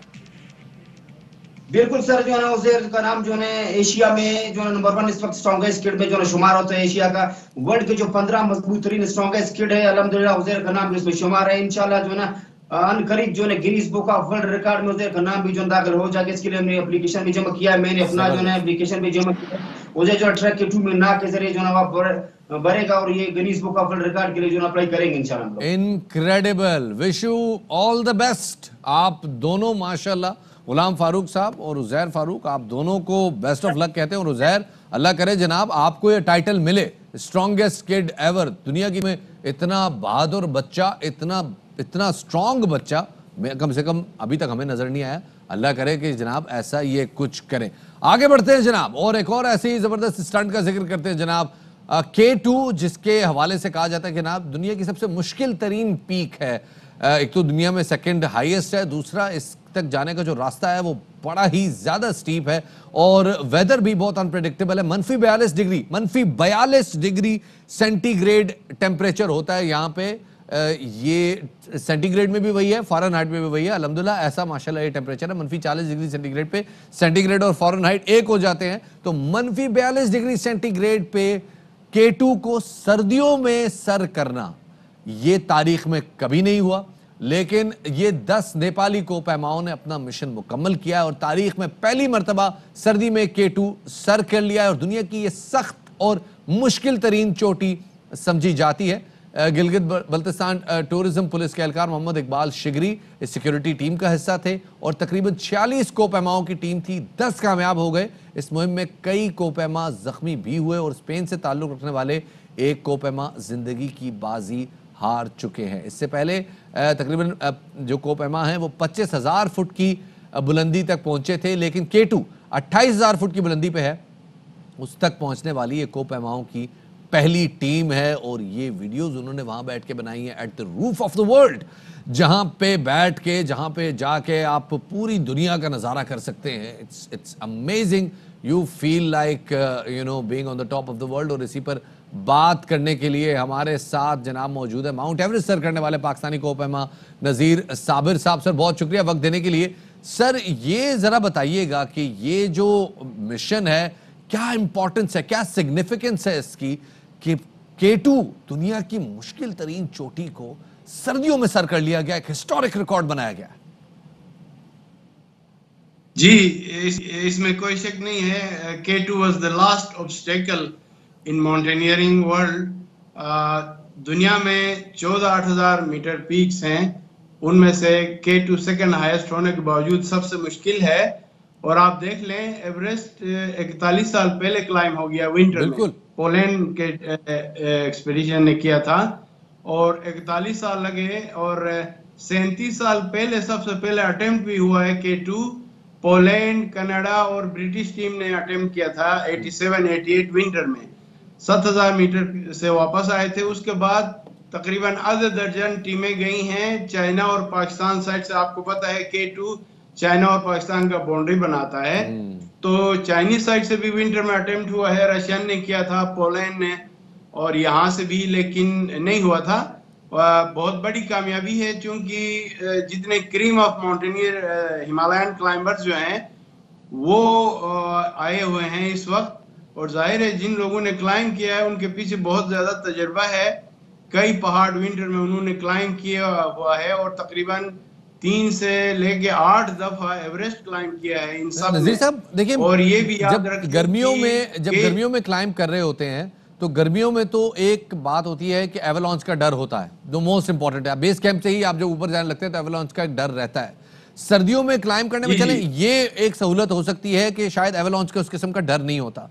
लेकिन वेदर इतना डिफ़िकल्ट है और ऊपर जो विंड है उसके बाद ये फिजिकली इम्पॉसिबल लगता है कि कोई शख्स या कोई पार्टी जो है वो केटू को सर्दियों में फतह कर ले। आप बताइए एज ए टेक्निकल एक्सपर्ट आपको क्या लगता है कितना मुश्किल था ये और कैसे ओवरकम किया होगा उन्होंने?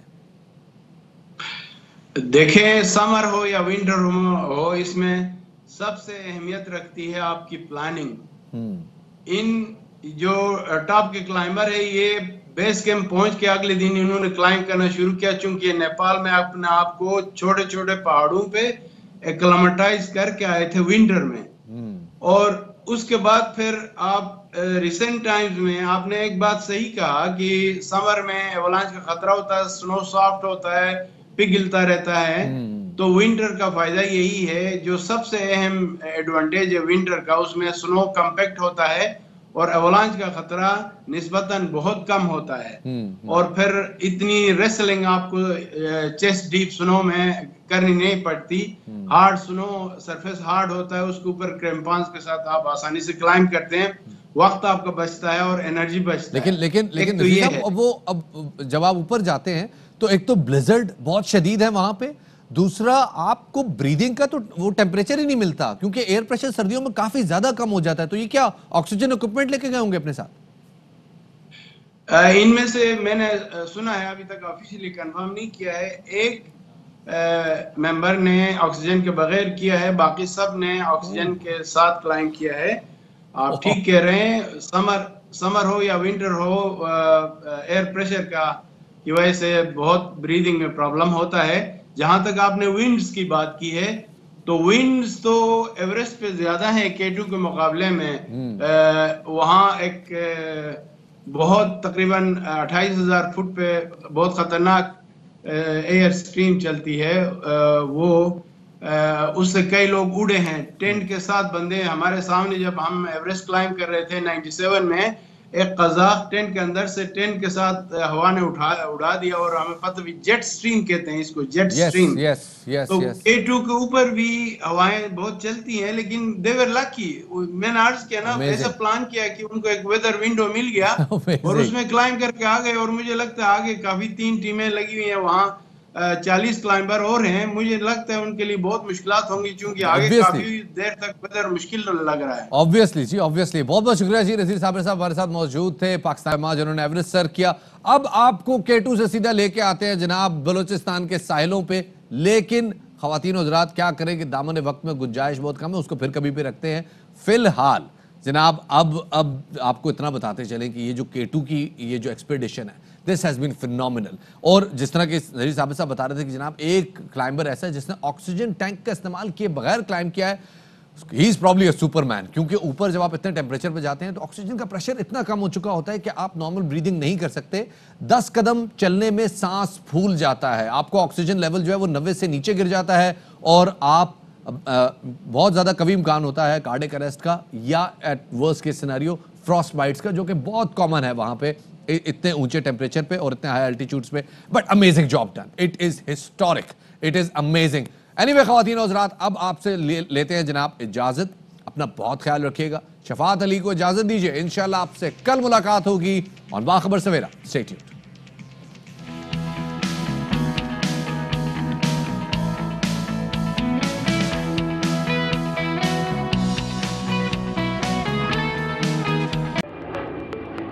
Fly with PIA and save gold. Register now. Scan QR code and register yourself to get gold and loyalty benefits. Powered by ARY Sahulat Wallet.